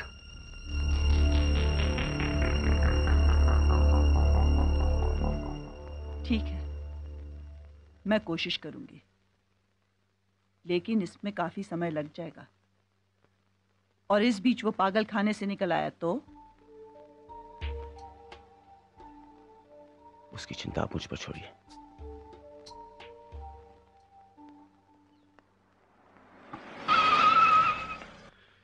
मैं यहाँ ज़्यादा दिन रुकना नहीं चाहता। यहाँ मुझे अपनी माँ की बहुत याद आती है। कहीं मैं भी अपनी माँ की तरफ़ नहीं नहीं तरंग। तुम बहुत जल्द अच्छे हो जाओगे। तुम्हारे अंदर जीने की चाह है। हाँ तरंग। अगर तुम अपने इलाज में इसी तरह हमारी मदद करते रहे तो बहुत जल्दी यहाँ से आज़ाद हो जाओगे। थैंक यू डॉक्टर साहब। अरे नहीं ये क्या कर रहे हो?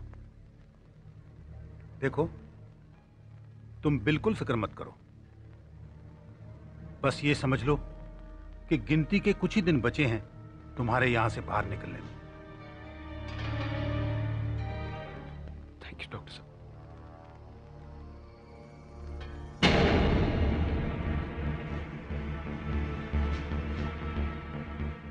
अरे, राजबाबू, आप? नमस्ते।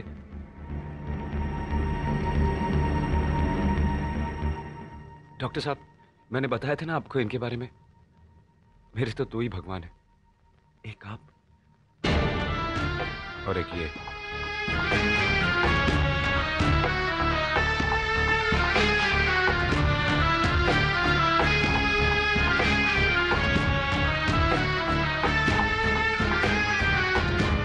मिस्टर राज। जी। आपने इस भोले भाले मासूम इंसान को बचाकर बहुत नेक काम किया है। जी। डॉक्टर मैं तरंग से कुछ देर के लिए मिलना चाहता हूँ। ज़रूर के sure go ahead thank you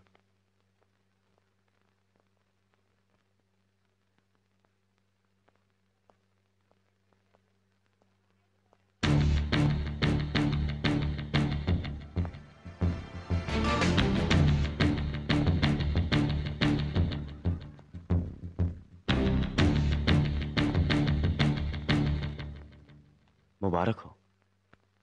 बहुत जल्द यहाँ से आज़ाद होने वाले हो। ज़िंदगी दोबारा शुरू तो करनी पड़ेगी राज। और फिर परिवार भी तो बसाना है। सरगम से ब्याह करना है म्यूज़िक डायरेक्टर बनना है। अच्छे सपने। हैं रंजीत।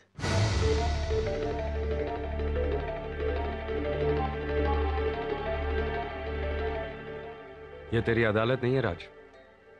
जहाँ तेरे उकसाने पर मैं रंजीत बन जाऊँ। वहाँ रंजीत बनना मेरे फ़ायदे में था। मगर यहाँ मानोगे?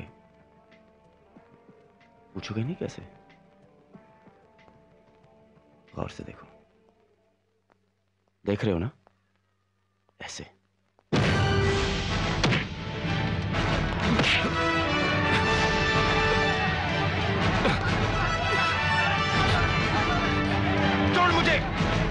छोड़ मेरा हाथ कमी दे डॉक्टर साहब बचाओ। डॉक्टर साहब। What's happening? ये क्या है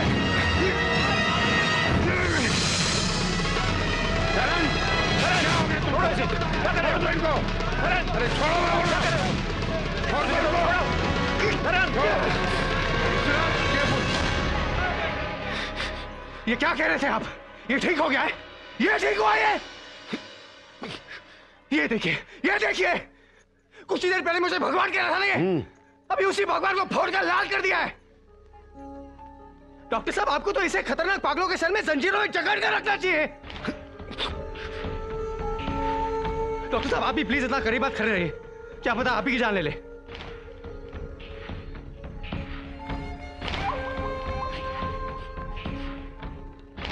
ले जाओ इसे सेल में। ले जाओ।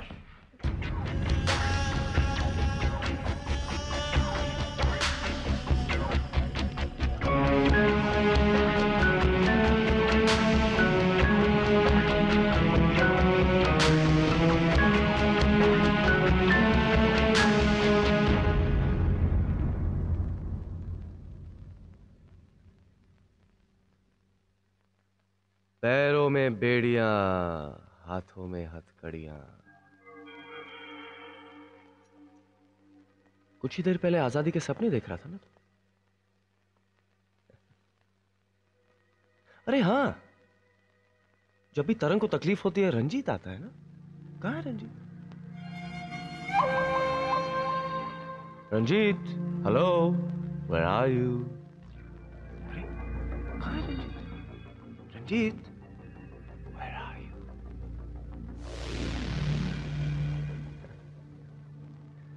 अरे हाँ रंजीत तो तू ही है ना? अब तुझे बचाने कौन आएगा?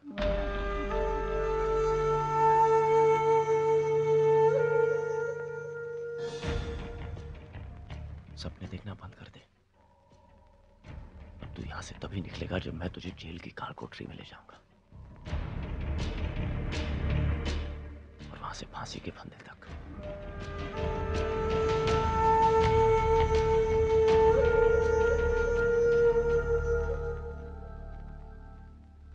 वैसे गेम बहुत अच्छा खेला तूने आदमी गलत चुन लिया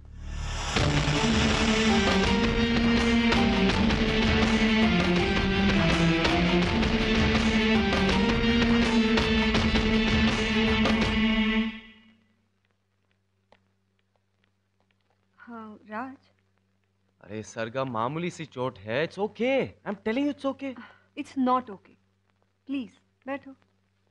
अरे यार।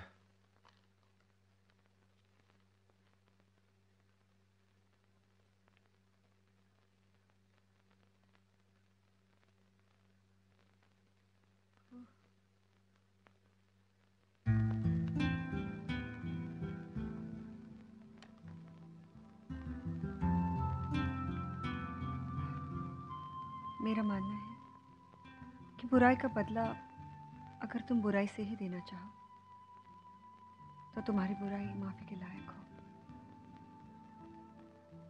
मैं एक बार फिर कहूँगी राज तरंग को लेकर तुम्हें कोई बहुत बड़ी गलतफहमी हुई है। वो ऐसा बिल्कुल ही नहीं है जैसा तुम उसे समझ रहे हो। और मैं ये नहीं समझ पा रहा हूँ कि तुम मुझ पर विश्वास क्यों नहीं कर रही हो? नहीं राज मैं क्या झूठ बोल रहा हूँ तुमसे? मेरी कोई जाति दुश्मनी है उससे? क्यों मैं अपनी सबसे बड़ी जीत को अपनी हार बना रहा हूँ? क्यों? मेरी तो कुछ समझ में नहीं आ रहा। पर पर मैं ये कैसे मान लू राज कि बचपन से जानती हूँ मैं तरंग को राज और और और पिछले दो सालों से तो वो यहाँ मुझे हमेशा यही महसूस हुआ है कि वो एक बहुत ही अच्छा इंसान है। और प्लीज़ समझने की कोशिश करो राज वो मेरे गुरु हैं। लेकिन तुम्हारा वो गुरु तुम्हें बहुत चाहता है। मैं समझा लूँगी उसे। नहीं समझा पाओगी तुम उसे। और जिस दिन तुम उसे समझाने में कामयाब होगी ना सरकम खुद नहीं पता तुम अपने कितनी बड़ी मुसीबत खड़ी कर लोगी। तो तुम्हारा सबसे बड़ा दुश्मन बन जाएगा जान से भी मार सकता है तुम्हें। क्या? कैसी बातें कर रहे हो राज? वो मुझे मारेगा मुझे? मुझे कुछ नहीं हो सकता राज। और तुम मेरी इतनी फ़िक्र क्यों कर रहे हो? क्योंकि मैं तुम्हें खोना नहीं चाहता। नहीं खोगे राज। कभी नहीं। सरगम तुम जानती नहीं। मैं सिर्फ़ इतना जानती हूँ राज। कि मेरी हर सांस पर तुम्हारा नाम लिखा हुआ है।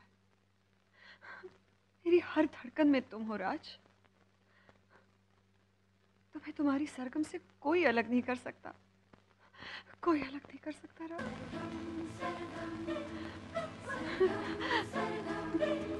सांसे सांसे हैं।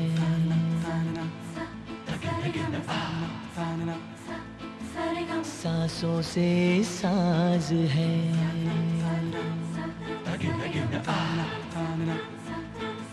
साज से सरगम है।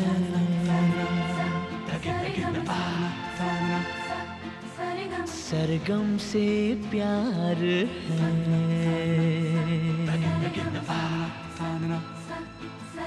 प्यार से हम दोनों और हमसे संसार है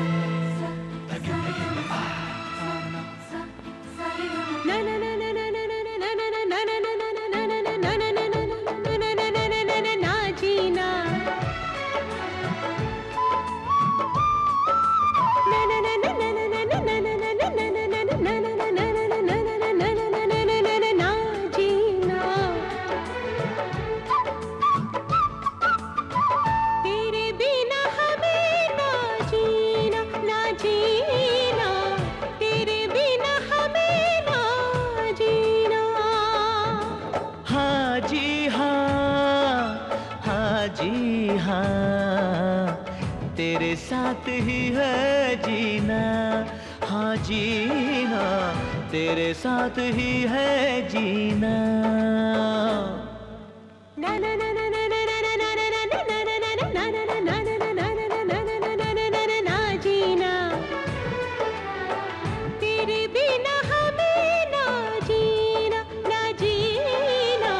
तेरे साथ ही है जीना।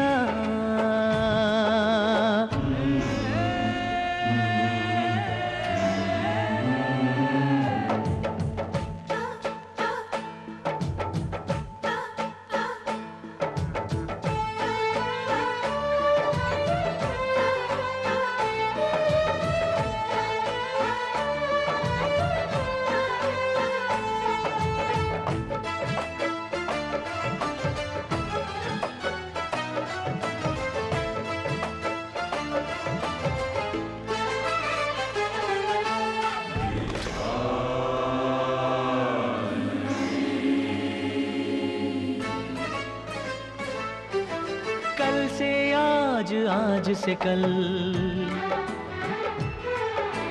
कल से आज आज से कल, नाम तुम्हारे है हर पल।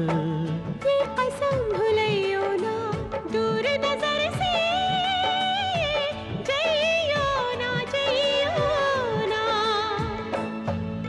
ना ना जाना ना जाना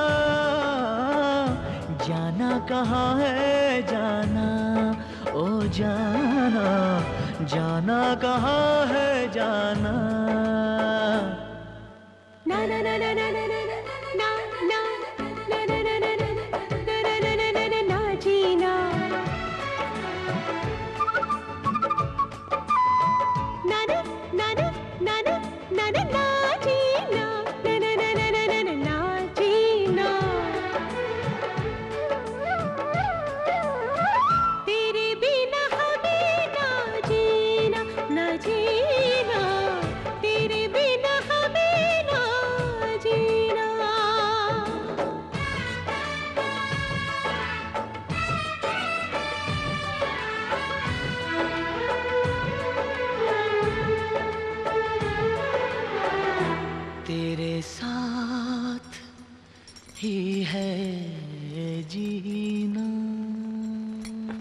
मरना चाहते हो क्या?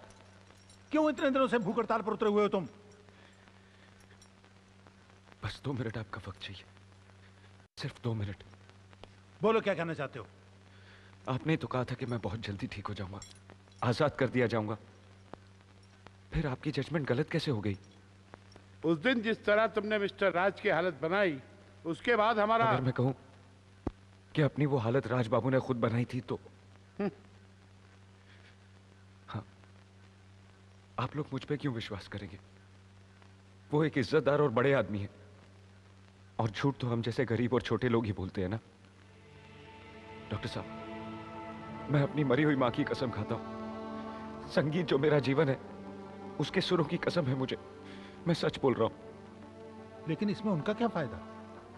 वो ऐसा क्यों करेंगे? वो मेरी होने वाली बीबी से प्यार करने लगे।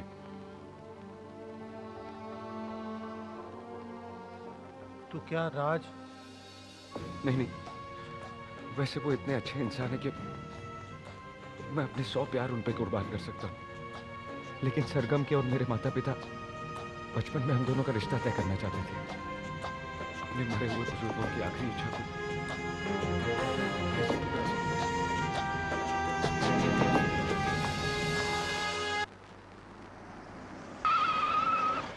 इतने दावे के साथ मैं इसलिए कह रहा हूँ मिस्टर राज कि हमने तरंग का लाई डिटेक्टर टेस्ट लिया है। और उस टेस्ट से इतना तो पता चल ही जाता है कि कौन इंसान कितना झूठ बोल रहा है और कितना सच। जी हाँ उस दिन आप पर हमला उसने नहीं किया था बल्कि आपने खुद दीवार पर सिर मारकर अपने आप को जख्मी किया था।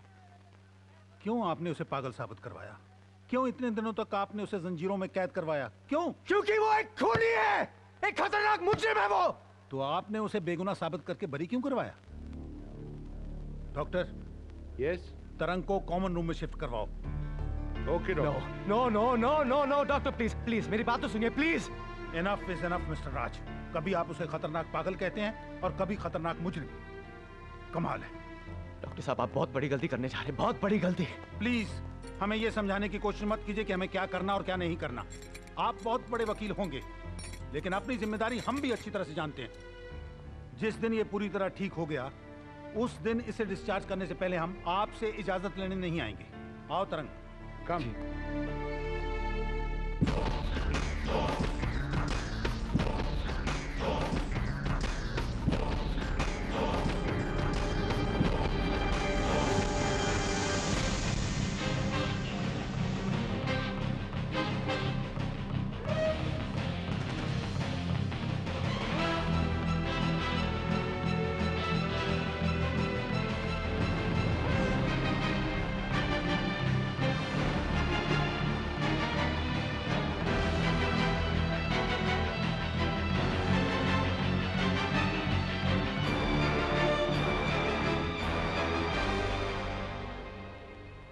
आजकल मेरा बेटा ना ठीक से खाता है ना ठीक से सोता है। मेरी समझ में ये नहीं आता कि अगर तरन पागल खाने से छूट भी जाए तो ऐसी क्या मुसीबत आ सकती है? मिसेस गोयल तरंग ये मानता है कि सरगम सिर्फ़ उसी के लिए बनी है। जिस दिन भी उसका यह वहम टूटा कयामत आ सकती है। लेकिन आप तो कहती थी कि वो इसलिए हकलाकर बातें करता है कि कुछ कहने से पहले उसे सोचने का मौका मिले। फिर ऐसा शातिर और चालाक आदमी ऐसी कोई हरकत करेगा कि दोबारा कानून की शिकंजे में फंसे? वो शातिर तो है, लेकिन बहुत जज्बाती भी। सरगम के लिए। सरगम को लेकर वो फैसले अपने दिल से करता है। दिमाग से नहीं। दिमाग तो उस वक्त उसके काबू में ही नहीं रहता। वो उस वक्त कुछ भी कर सकता है। आदमी शातिर हो, खतरनाक हो, उससे तो निपटा जा सकता है। लेकिन अगर वो साथ साथ जज्बाती भी हो तो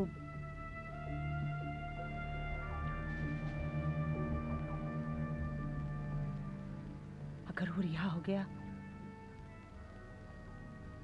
तो पता नहीं पता नहीं क्या होगा।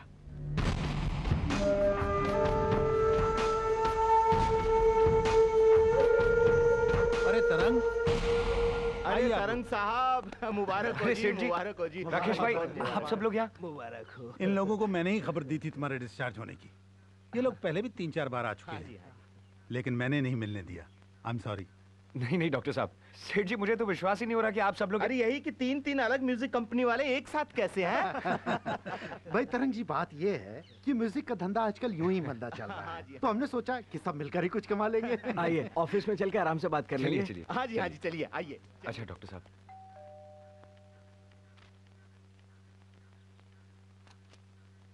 Hi Maggie. Hello sir Sargam.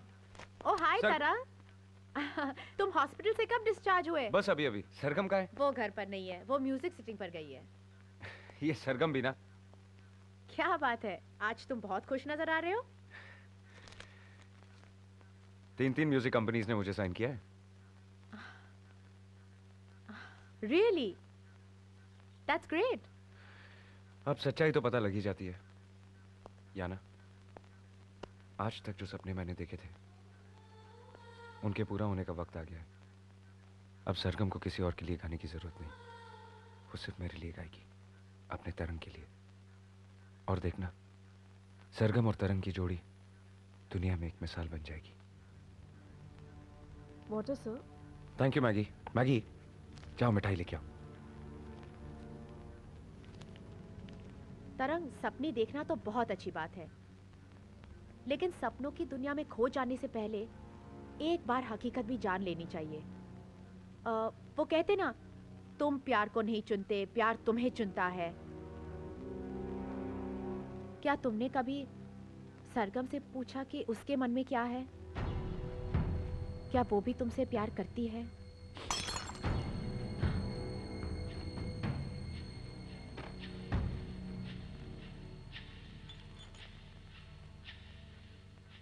किसी और से प्यार करती है वो? वो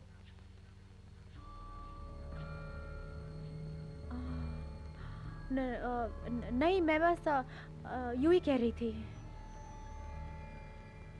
कोई और है उसके मन में? अ, नहीं तरंग बस मेरे मन में ये बात आई कि तुम्हें उसके मन की बात पूछ लेनी चाहिए बस।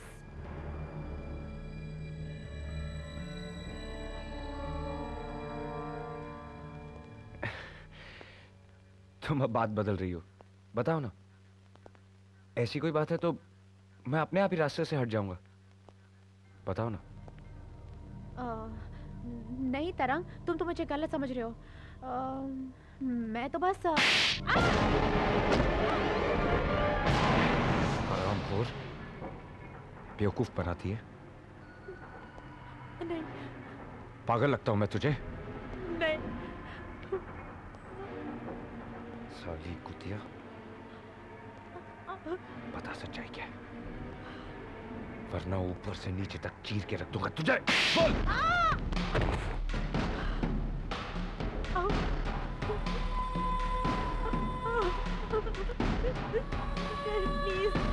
तरंग प्लीज़।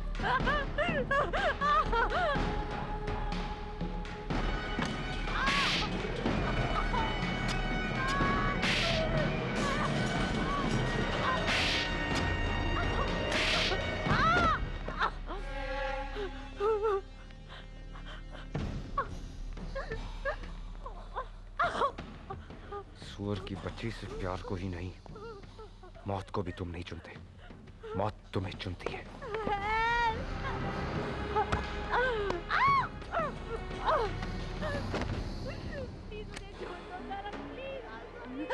सपने ही तो मेरे साथी हैं और तुम कहती हो सपने नहीं देखने चाहिए सरगम सरगम मुझे बचा लो इस गॉड बैक तुमने क्यों मारा इसे? साली कहती है कि सरगम से कभी पूछा है कि वो तुमसे प्यार करती है कि नहीं। ये भी कोई पूछने की तुम मुझसे प्यार करती हो कि नहीं?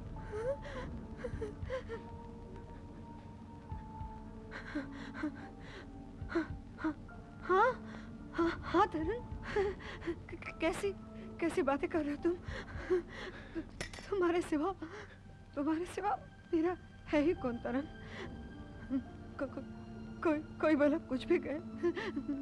तो तुम्हारे दिल में ये ख्याल आया कैसे? ये सरगम मेरे दिल में ऐसा कोई ये तो इसने और साइकेट्रिस्ट ने मिलकर मुझे तो हमेशा से पता था कि मेरी सरगम मुझे बहुत प्यार करती है। बचपन से प्यार करती है।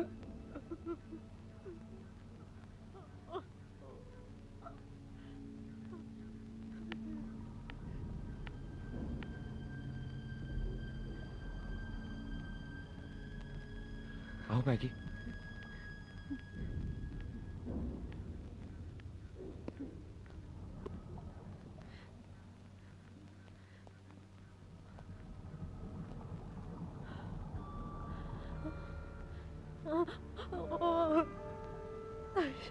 कितना खून बहा है। या ना, तुमने मुझे खामखा गुस्सा दिला दिया। अब देखो पुलिस पुलिस में कंप्लेन करके मुझे फिर से गुस्सा नहीं दिलाना। हाँ? चलो। मिठाई खा के फिर से दोस्ती कर लेते। लो। लो।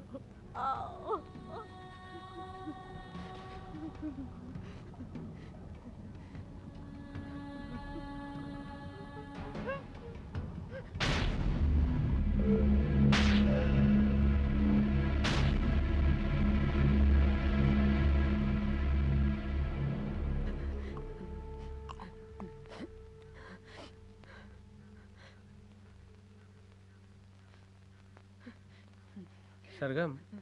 याना ने हॉस्पिटल में पुलिस को अपना बयान क्यों नहीं दिया? हाँ सरगम। ये बहुत बड़ा गुनाह है। पुलिस तरंग को सीधा अंदर कर देती। कितने दिनों के लिए? हाँ? पूरी पूरी ज़िंदगी के लिए अंदर कर सकते हैं पुलिस उसे उस जुर्म के लिए? हाँ? प, पता है आपको? याना को तो बेचारे को इतना बड़ा शौक लगा हुआ है कि और उसे क्या? मैं मैं खुद नहीं सोच सकती थी कि बस एक पल में वो दो साल के दो सालों के रिश्तों को बुला सकता है इस तरह मैं। मैं, मैं मम्मी मैं मैं आई कांट बिलीव इट ना बेटी। जस्ट कांट ना बेटी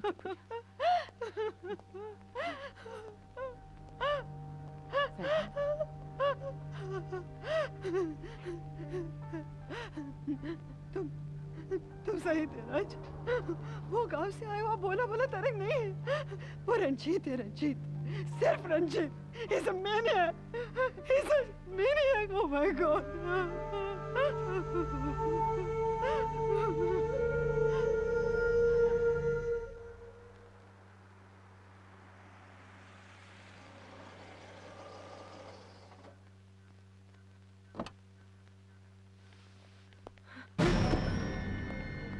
से आ रही सरगम मैं कहाँ गई थी? वो वो रा, राज से। राज? राज से मिलने इस वक्त क्यों? वो वो तुम्हारा केस रीओपन करवाना चाहता है वो तो मैं उसे समझाने गई थी कि वो ऐसा कुछ नहीं करे।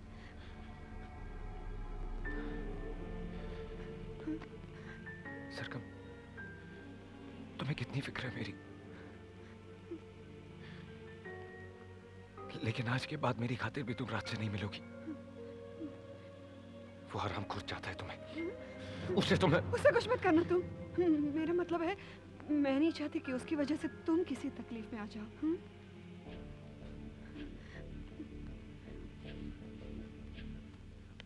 जैसे ही जज साहिबा आती हैं मुझे फ़ौरन फ़ोन करना। ओके राज।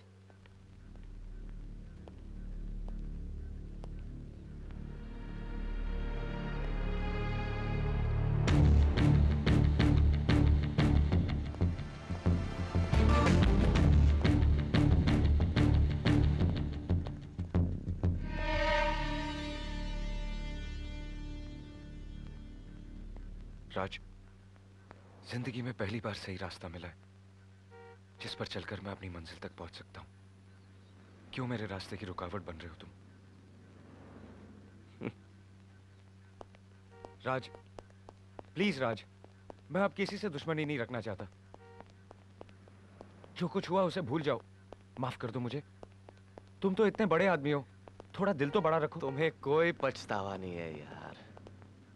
और फिर मैं कौन हूँ तुम्हें माफ़ करने वाला? तुम कानून के गुनेगार हो। ये कानून वानून की बात बेकार है राज। मैं जानता हूँ तुम किस वजह से मेरे पीछे पड़े हो।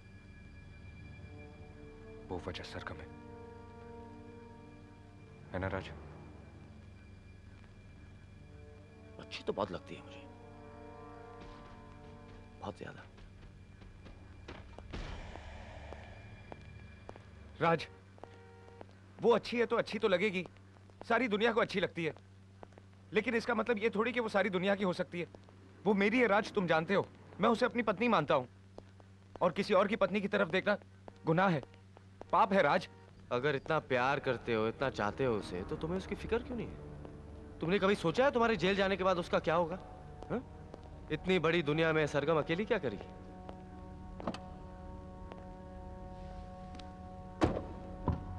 अगर तुम सचमुच उसे प्यार करते ना तो तुम खुद उसका हाथ मेरे हाथ में देते और कहते कि प्लीज़, राज, प्लीज़, सरगम से शादी कर लो। क्योंकि मेरी मंजिल संगीत या सरगम नहीं, सलाखें हैं, जेल की सलाखें।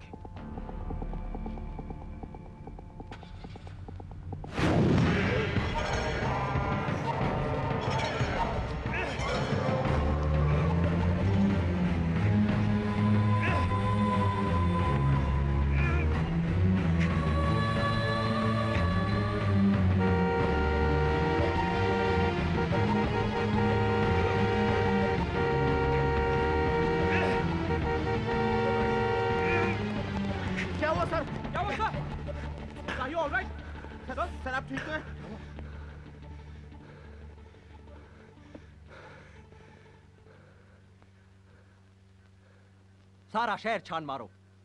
जहाँ भी उसके होने की गुंजाइश हो वो हर इलाका हर घर हर मोहल्ले की तलाशी लो। बारह घंटे के अंदर वो शख्स मुझे यहाँ पर चाहिए। कानून को खेल समझता है ना वो? कानून की गर्मी उसे दिखानी ही पड़ेगी। नाउ कमान मूव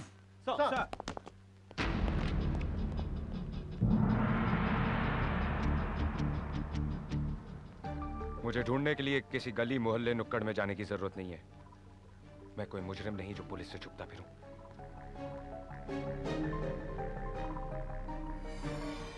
इनके सिर्फ़ कहने पर आपने मान लिया कि मैंने इन पर हमला किया है। हमला मैंने नहीं इन्होंने मुझ पर किया है। ये देखिए।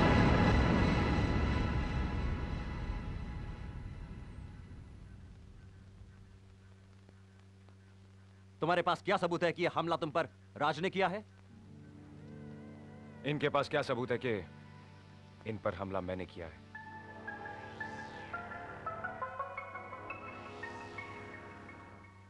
इनके बदन पर खरोच का निशान तक नहीं है। और मेरे घाव देखने के बाद भी आप मुझसे सबूत मांग रहे हैं। मेरी कंप्लेंट तक नहीं लिखी जा रही। क्यों? क्योंकि मैं एक आम आदमी हूँ हाँ?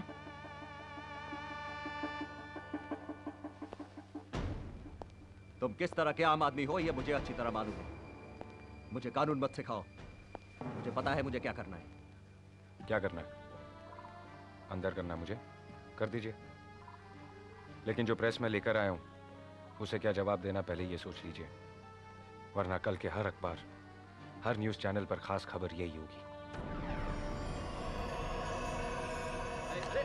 हमें जाने दीजिए अंदर हमें अंदर जाने दीजिए हम सच्चाई जानना चाहते देखो तुम्हारे खिलाफ शिकायत थी इसलिए तुम्हें यहाँ पर रूटीन इंक्वायरी के लिए बुलवाना था गिरफ़्तार करने के लिए नहीं। सिंह यस सर इनकी कंप्लेंट लिख लो। यस सर चलिए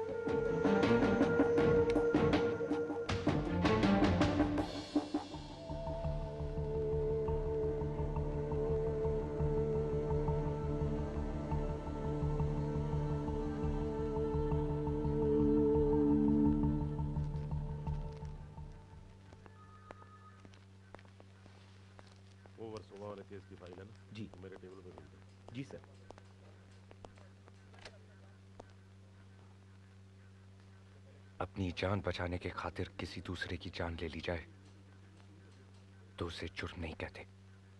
सेल्फ डिफेंस यू सी गाँव की लाइब्रेरी में कानून की किताब भी पढ़ी है मैंने।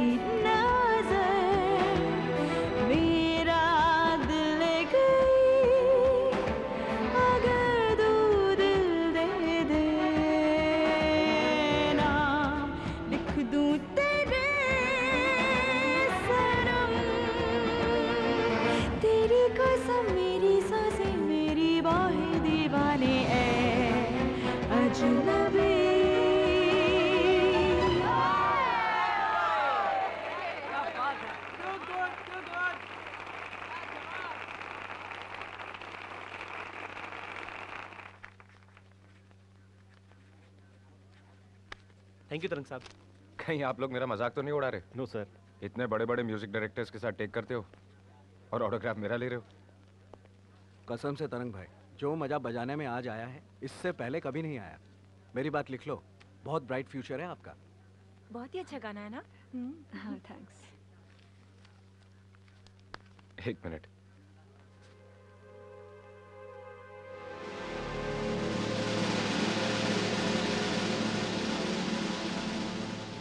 चल भाई तुझे तेरे ससुराल ले जाने के लिए आए हैं। तेरा केस रीओपन हो गया है। चल। अबे चल। चल रहा हूँ। बदतमीजी नहीं। ए आँखें किसको दिखाता है? हैं?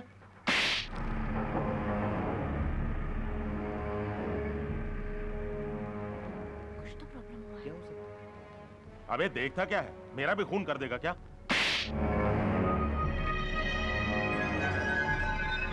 ले, चलो साले को। चल। चल।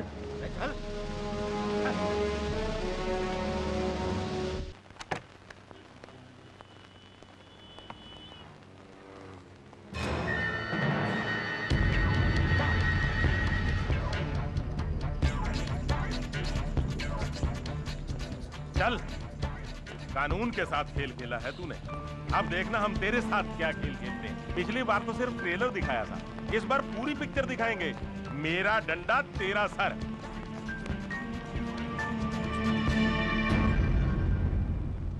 बहुत बड़ा वकील समझता है ना अपने आप को। कानून क्या होता है इस बार कोर्ट में मैं तुझे बताऊँगा। तुझे किसने कह दिया कि हम तुझे कोर्ट में ले जाएँगे? हाँ? कानून से भागने के जुर्म में तेरा एनकाउंटर भी तो हो सकता है। नहीं? तुझे नहीं लगता सबका टाइम बचेगा? तेरा मेरा अदालत का सबका।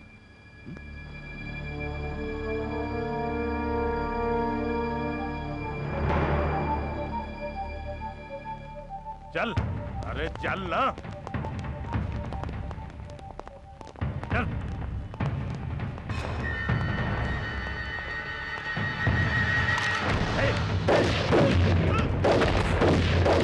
माँ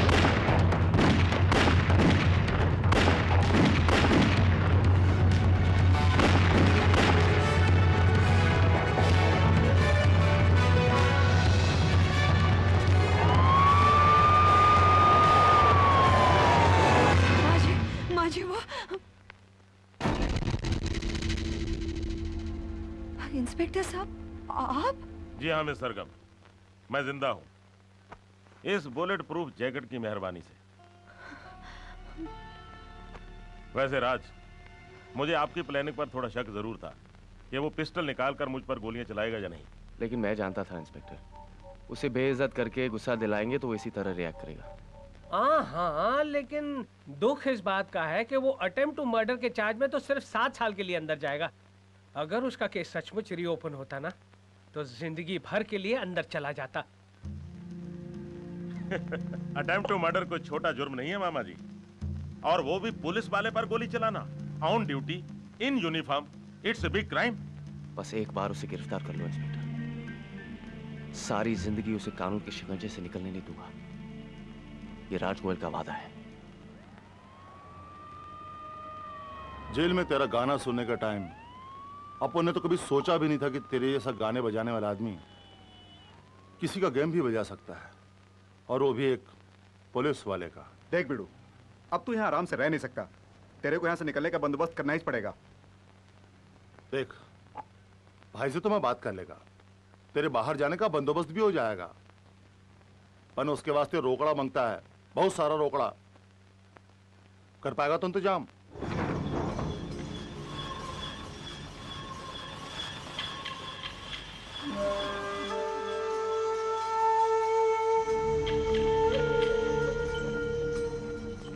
ये सारी दौलत तूने मेरा संगीत चोरी करके कमाई है ना? तो फिर देने में इतनी तकलीफ़ क्यों हो रही है? नहीं ऐसी कोई बात नहीं। चल बाहर रख। Hello police. पुलिस स्टेशन क्या कर रहा है? देखिए मैं अभिजीत मेहता के यहाँ से अभिजीत मेहता के यहाँ से बोल रहा हूँ। तरंग यहाँ है। जी हाँ आप फ़ौरन यहाँ चले आइए। हेलो जी हाँ तरंग यही है। लो देखिए वो उसे धमका रहा है उससे पैसे हट रहा है।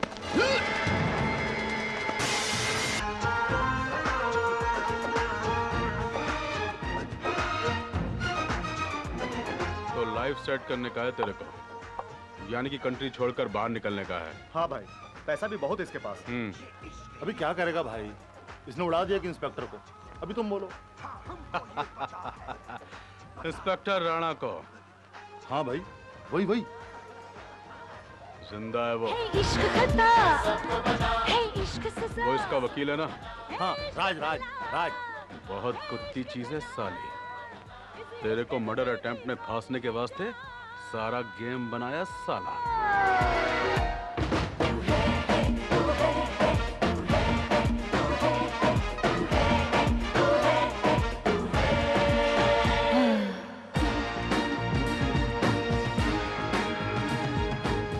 छोड़ना। हम मुँह लटका के क्या बैठा है? जो होना था वो हो चुका है। लेकिन भाई दो लोगों का बंदोबस्त करना पड़ेगा। हाँ सरगम ना। कोई चूचा तो नहीं करेगी ना? तेरे साथ जाएगी। अरे बहुत प्यार करती है इससे। जेल में इसके वास्ते खाना लेके आती थी वो। हाँ। तो तू फटाफट तैयारी कर ले हाँ? सैटरडे को निकलना पड़ेगा। तेरा प्रोग्राम मैं सेट कर दूँगा। सिर्फ़ तीन दिन है तेरे हाथ में।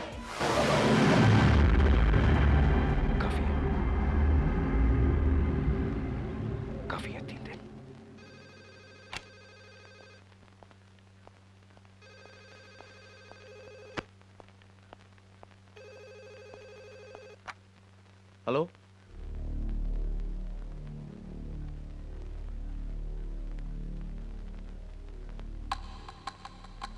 हाँ बोल तरंग। सॉरी रंजीत। मुझे मालूम है फ़ोन पर तू ही है। बोल ना। सरगम को फ़ोन दे। नहीं। बहुत गुस्सा आ रहा है ना? गुस्सा तो आएगा। पुलिस जो कुत्ते की तरह ढूंढ रही है तुझे। गली गली भागता फिर रहा तू। ऊपर से मैं तुझे सरगम से बात नहीं करने दे रहा हूँ गुस्सा तो आएगा। हेलो। हाँ सुन रहा हूँ। बोल ले जितना बोलना है। लेकिन इतना याद रखना मौत से खेल रहा है तू। जब तूने मुझे मुजरिम बना ही दिया है तो तेरा खून करने का जुर्म तो मैं ज़रूर करूँगा। खून करना तो बहुत दूर रंजीत। अगर हिम्मत है तो थोड़ी देर बस इसी तरह मुझे और धमकी दे। फ़ोन टेप हो रहा है। जरा पता तो चले तो किस कोने से छुपकर बात कर रहा है।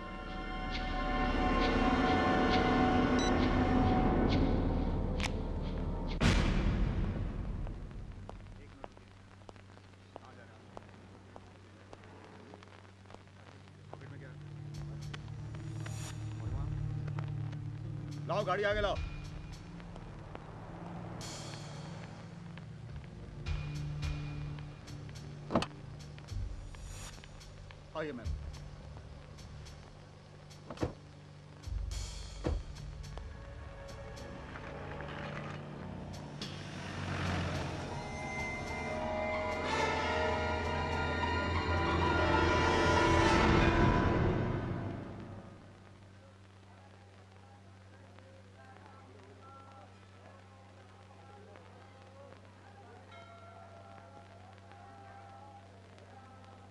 जीते रहो बेटी।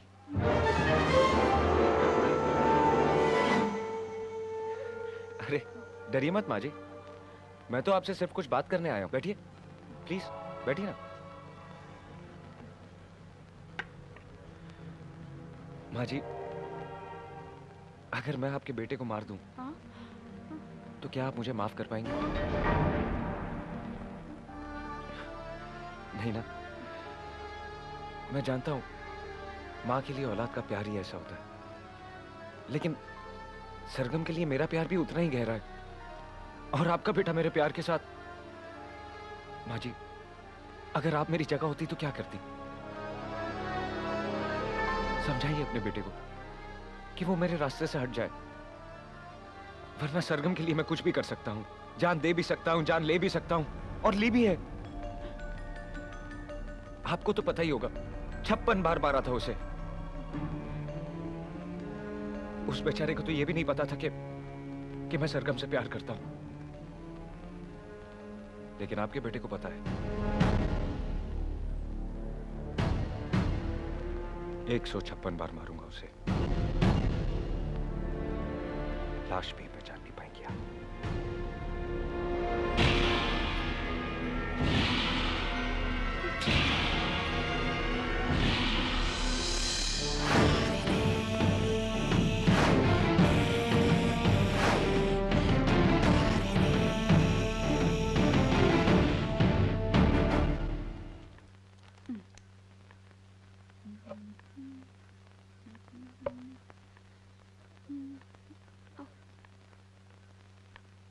जी।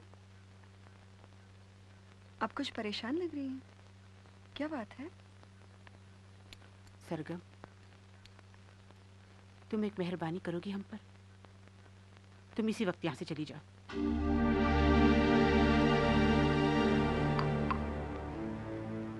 सिर्फ़ इस घर से ही नहीं, हमारी ज़िंदगी से भी। हमेशा हमेशा के लिए। हम तुम्हारे साथ कोई रिश्ता नहीं रखना चाहते। भूल जाओ मेरे बेटे को। दीदी? दीदी ये क्या कह रही हैं आप? मैं ठीक कह रही हूँ। इसका राज से रिश्ता रखना राज की मौत का कारण बन सकता है। और मैं अपने बेटे की ज़िंदगी को खतरे में नहीं डाल सकती। तरंग ने मोहब्बत को अपनी जीने का मकसद बना लिया है। और उसकी इस दीवानगी की आग में हम झुलसना नहीं चाहते। वाह दीदी वाह। एक दिन आप ही ने सरगम से कहा था ना कि शहर में वो कभी अपने आप को अकेला ना समझे? आपके होते हुए माँ की कमी कभी ना महसूस करे। उस वक्त मुझे पता नहीं था कि जिसे मैं बहू बनाना चाहती हूँ, उसका कोई इतना बड़ा आशिक भी है कि जो उसकी डोली मेरे घर आने पर मेरी बेटी की आरती उठवा सकता है। प्लीज़, हमें बख्श दो।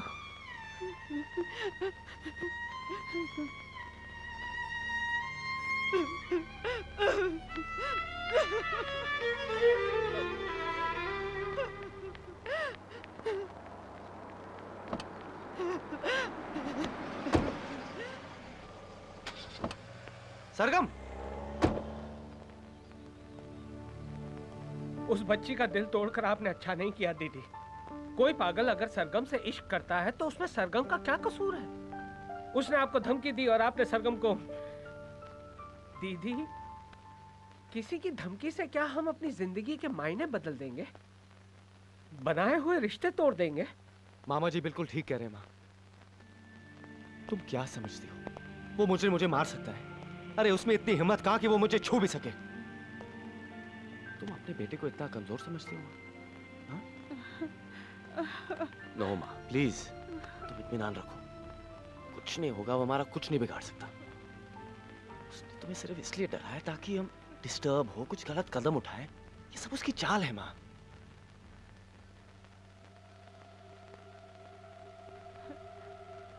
सरकम की सिक्योरिटी का है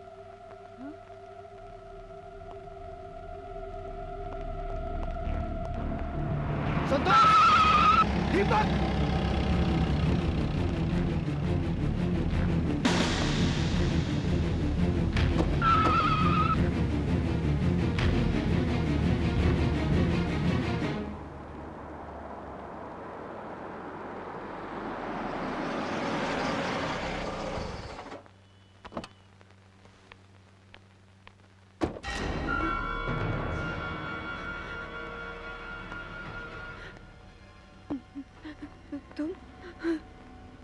चलो सरकम जल्दी चलो। जहाँ हम दोनों चैन से रह सके यहाँ से बहुत दूर। दूर? सारी बातें तुम्हें रास्ते में समझाऊँगा। चलो गाड़ी में बैठो। लेकिन मैं वो मैं अपना सामान तो सामान तो लेके आती हूँ अपना। यहाँ आए चलो जल्दी चलो।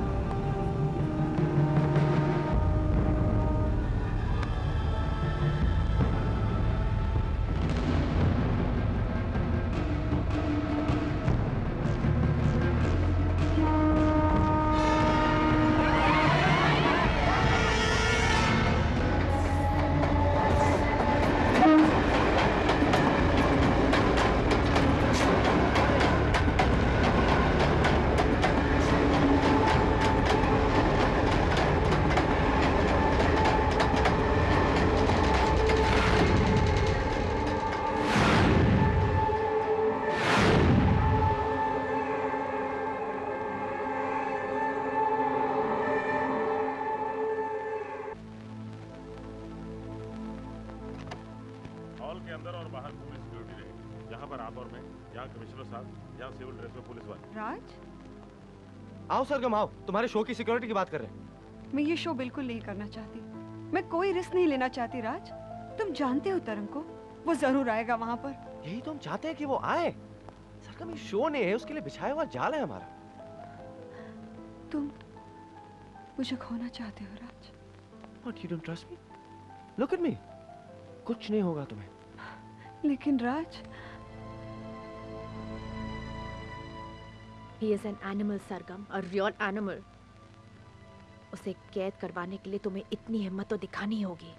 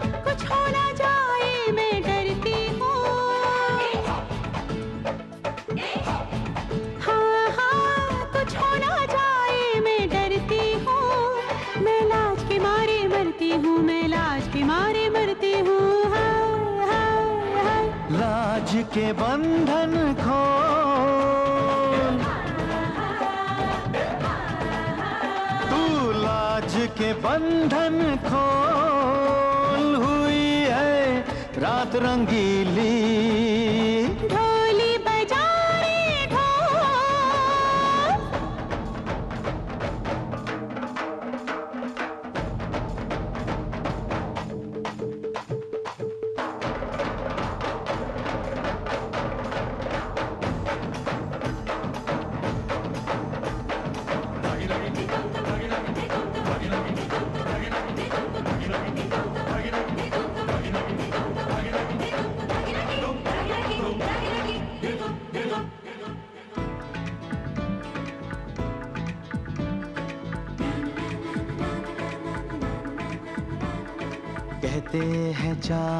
जिसको मेरी जान।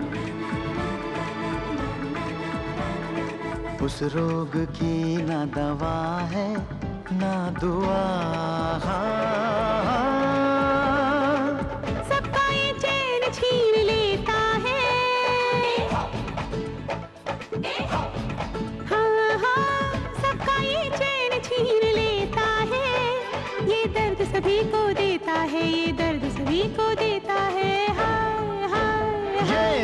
दर्द तो है अनमोल।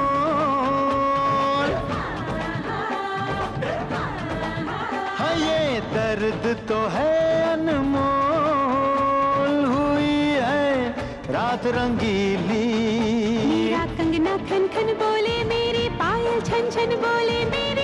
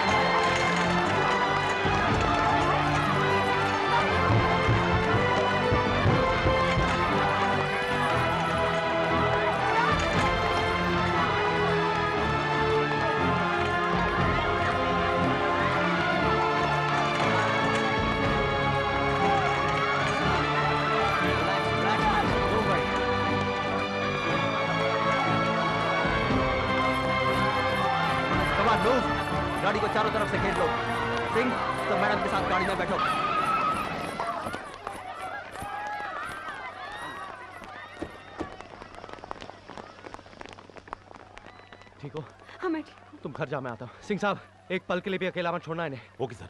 चलो। चलो। सर सर यहाँ आइए सर। सर यहाँ देखिए। सर जल्दी। ये देखिए सर। ये तो सरगम का ड्राइवर है। ओह नो लेट्स गो चलो। Come on everybody follow them move come on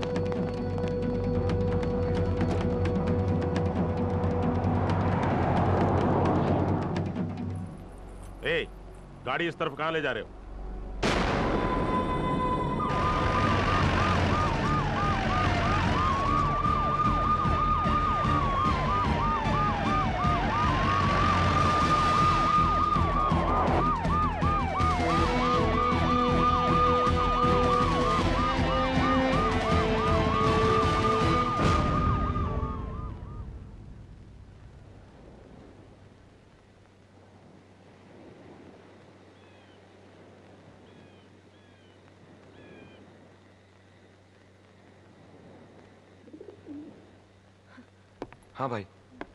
हाँ सरगम मेरे साथ है। जी भाई, जी।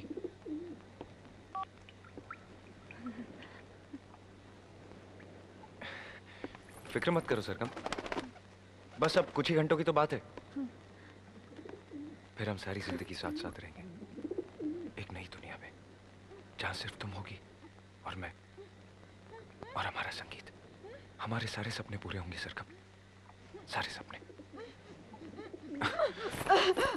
सरगम, क्या हुआ? पानी।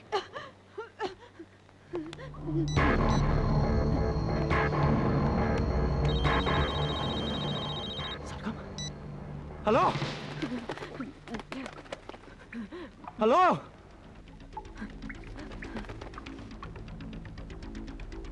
करण, ये जहाज़ हमारे लिए आकाश से रहा है। तुम क्यों फ़िक्र करती हो? नहीं हम, मेरा मतलब है हम जा कहाँ रहे हैं? यहाँ से बहुत दूर। जहाँ तुम्हें मिलने पर मुझ पर गोलियाँ ना बरसाई जाए। अच्छा तरंग कम से कम ये तो बताओ कि हम लोग हैं कहाँ? मेरे साथ हो मेरे पास। हाँ, हाँ, तरंग? ये ये लाइट कहीं पुलिस तो? हम्म। लाइट हाउस है यहाँ। Oh lighthouse hmm. अंधेरे में जहाजों को रास्ता दिखाने के लिए रोशनी देता है। जैसे तू मेरी अंधेरी ज़िंदगी में रोशनी बनकर आई। तब तो बहुत बहुत जहाज़ आते होंगे ना यहाँ पर। हम्म। जंजीरा फोर्ट है ना यहाँ? Janjira port Janjira fort. हमारा जहाज़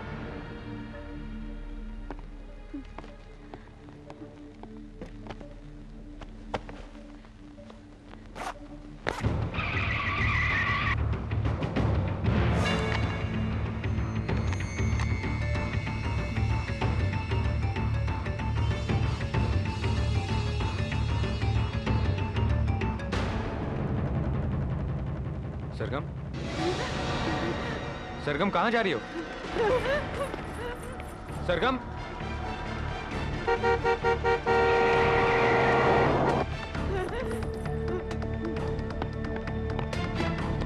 सरगम?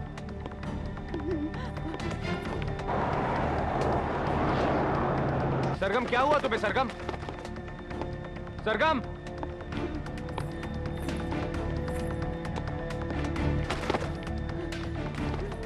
सरगम तो भाग क्यों रही हो मुझसे?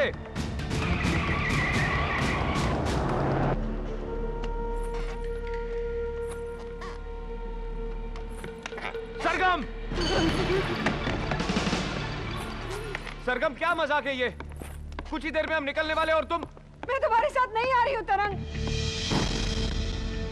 नो नो नो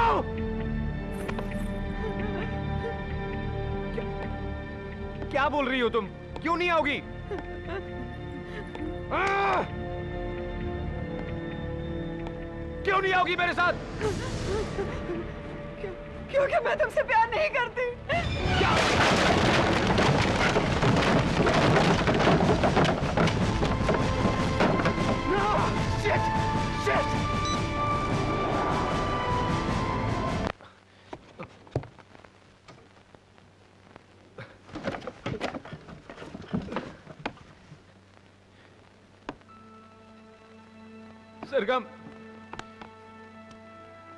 मुझसे प्यार नहीं करती।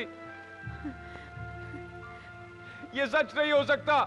सच यही है तरंग मैं तुमसे प्यार नहीं करती। झूठ! उस दिन तुमने खुद मुझसे कहा था कि तुम मैं डर गई थी। क्या ना क्या हालत देखकर डर गई थी मैं।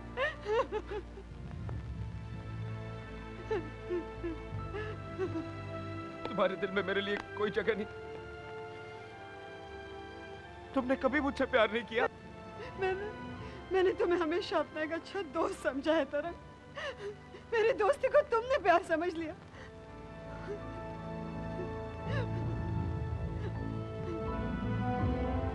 और और फिर, अपने दिल की बात शायद तुम मुझसे पहले कह देते तो।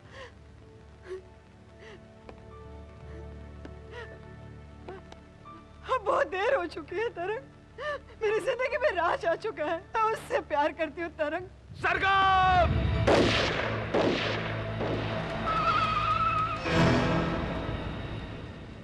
मैंने क्या कुछ नहीं किया तुम्हारे प्यार में?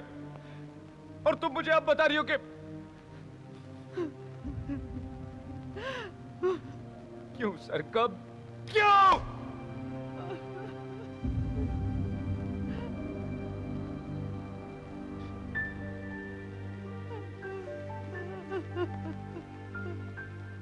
है सरगम तुम्हारी खुशी में ही मेरी खुशी है। मैं तुम्हारे रास्ते से हट जाऊँगा। लेकिन यह भी सच है कि जीते जी मैं तुम्हें भुला नहीं सकता। तुम्हारी मुश्किल को आसान करने का एक ही रास्ता है मेरे पास। अपनी जान देकर मैं ये साबित कर दूँगा कि तुम्हें मुझसे ज़्यादा और कोई प्यार नहीं कर सकता। नहीं, नहीं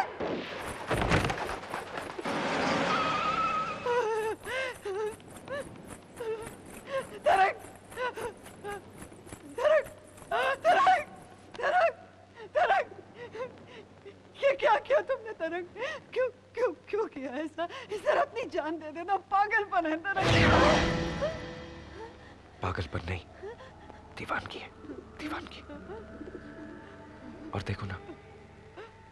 दीवानगी ने तुम्हें भी कितना दीवाना बना दिया। वरना मेरी मौत पे तुम इस तरह तड़पती क्यों रोती क्यों? सरगम!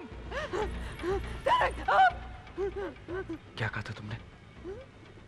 तुम्हारी ज़िंदगी में अब राज आ गया इसलिए तुम अगर राज ना रहे तो। सरगम!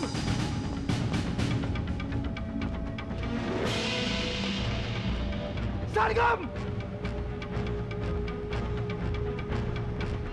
राज राज चले जाओ यहाँ से राज राज प्लीज़ चले जाओ यहाँ से राज राज प्लीज़ चले जाओ राज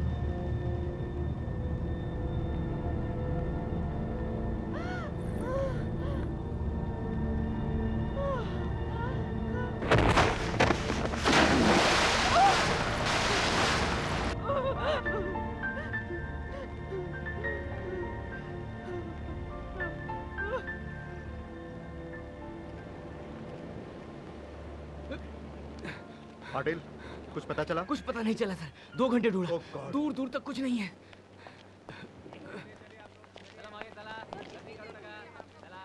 सर गोताखोरों ने अपनी तरफ़ से पूरी कोशिश कर ली लेकिन लाश का कुछ पता नहीं चला।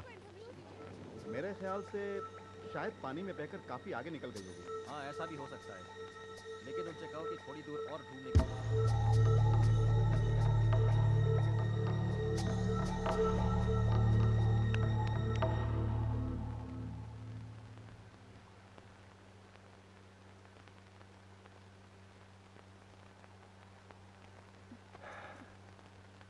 कहाँ खोई हुई हो। खामोशी की आवाज़ कितनी प्यारी कितनी मीठी। बस अब हमारी ज़िंदगी में भी इसी तरह सुकून रहे। ये ताजगी ये सादगी ये आशिकी।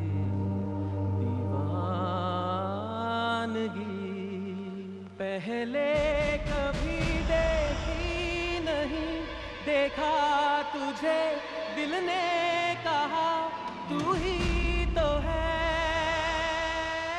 राज? नहीं सर ये गाना इतना मशहूर है कि कोई भी गा सकता है। शायद।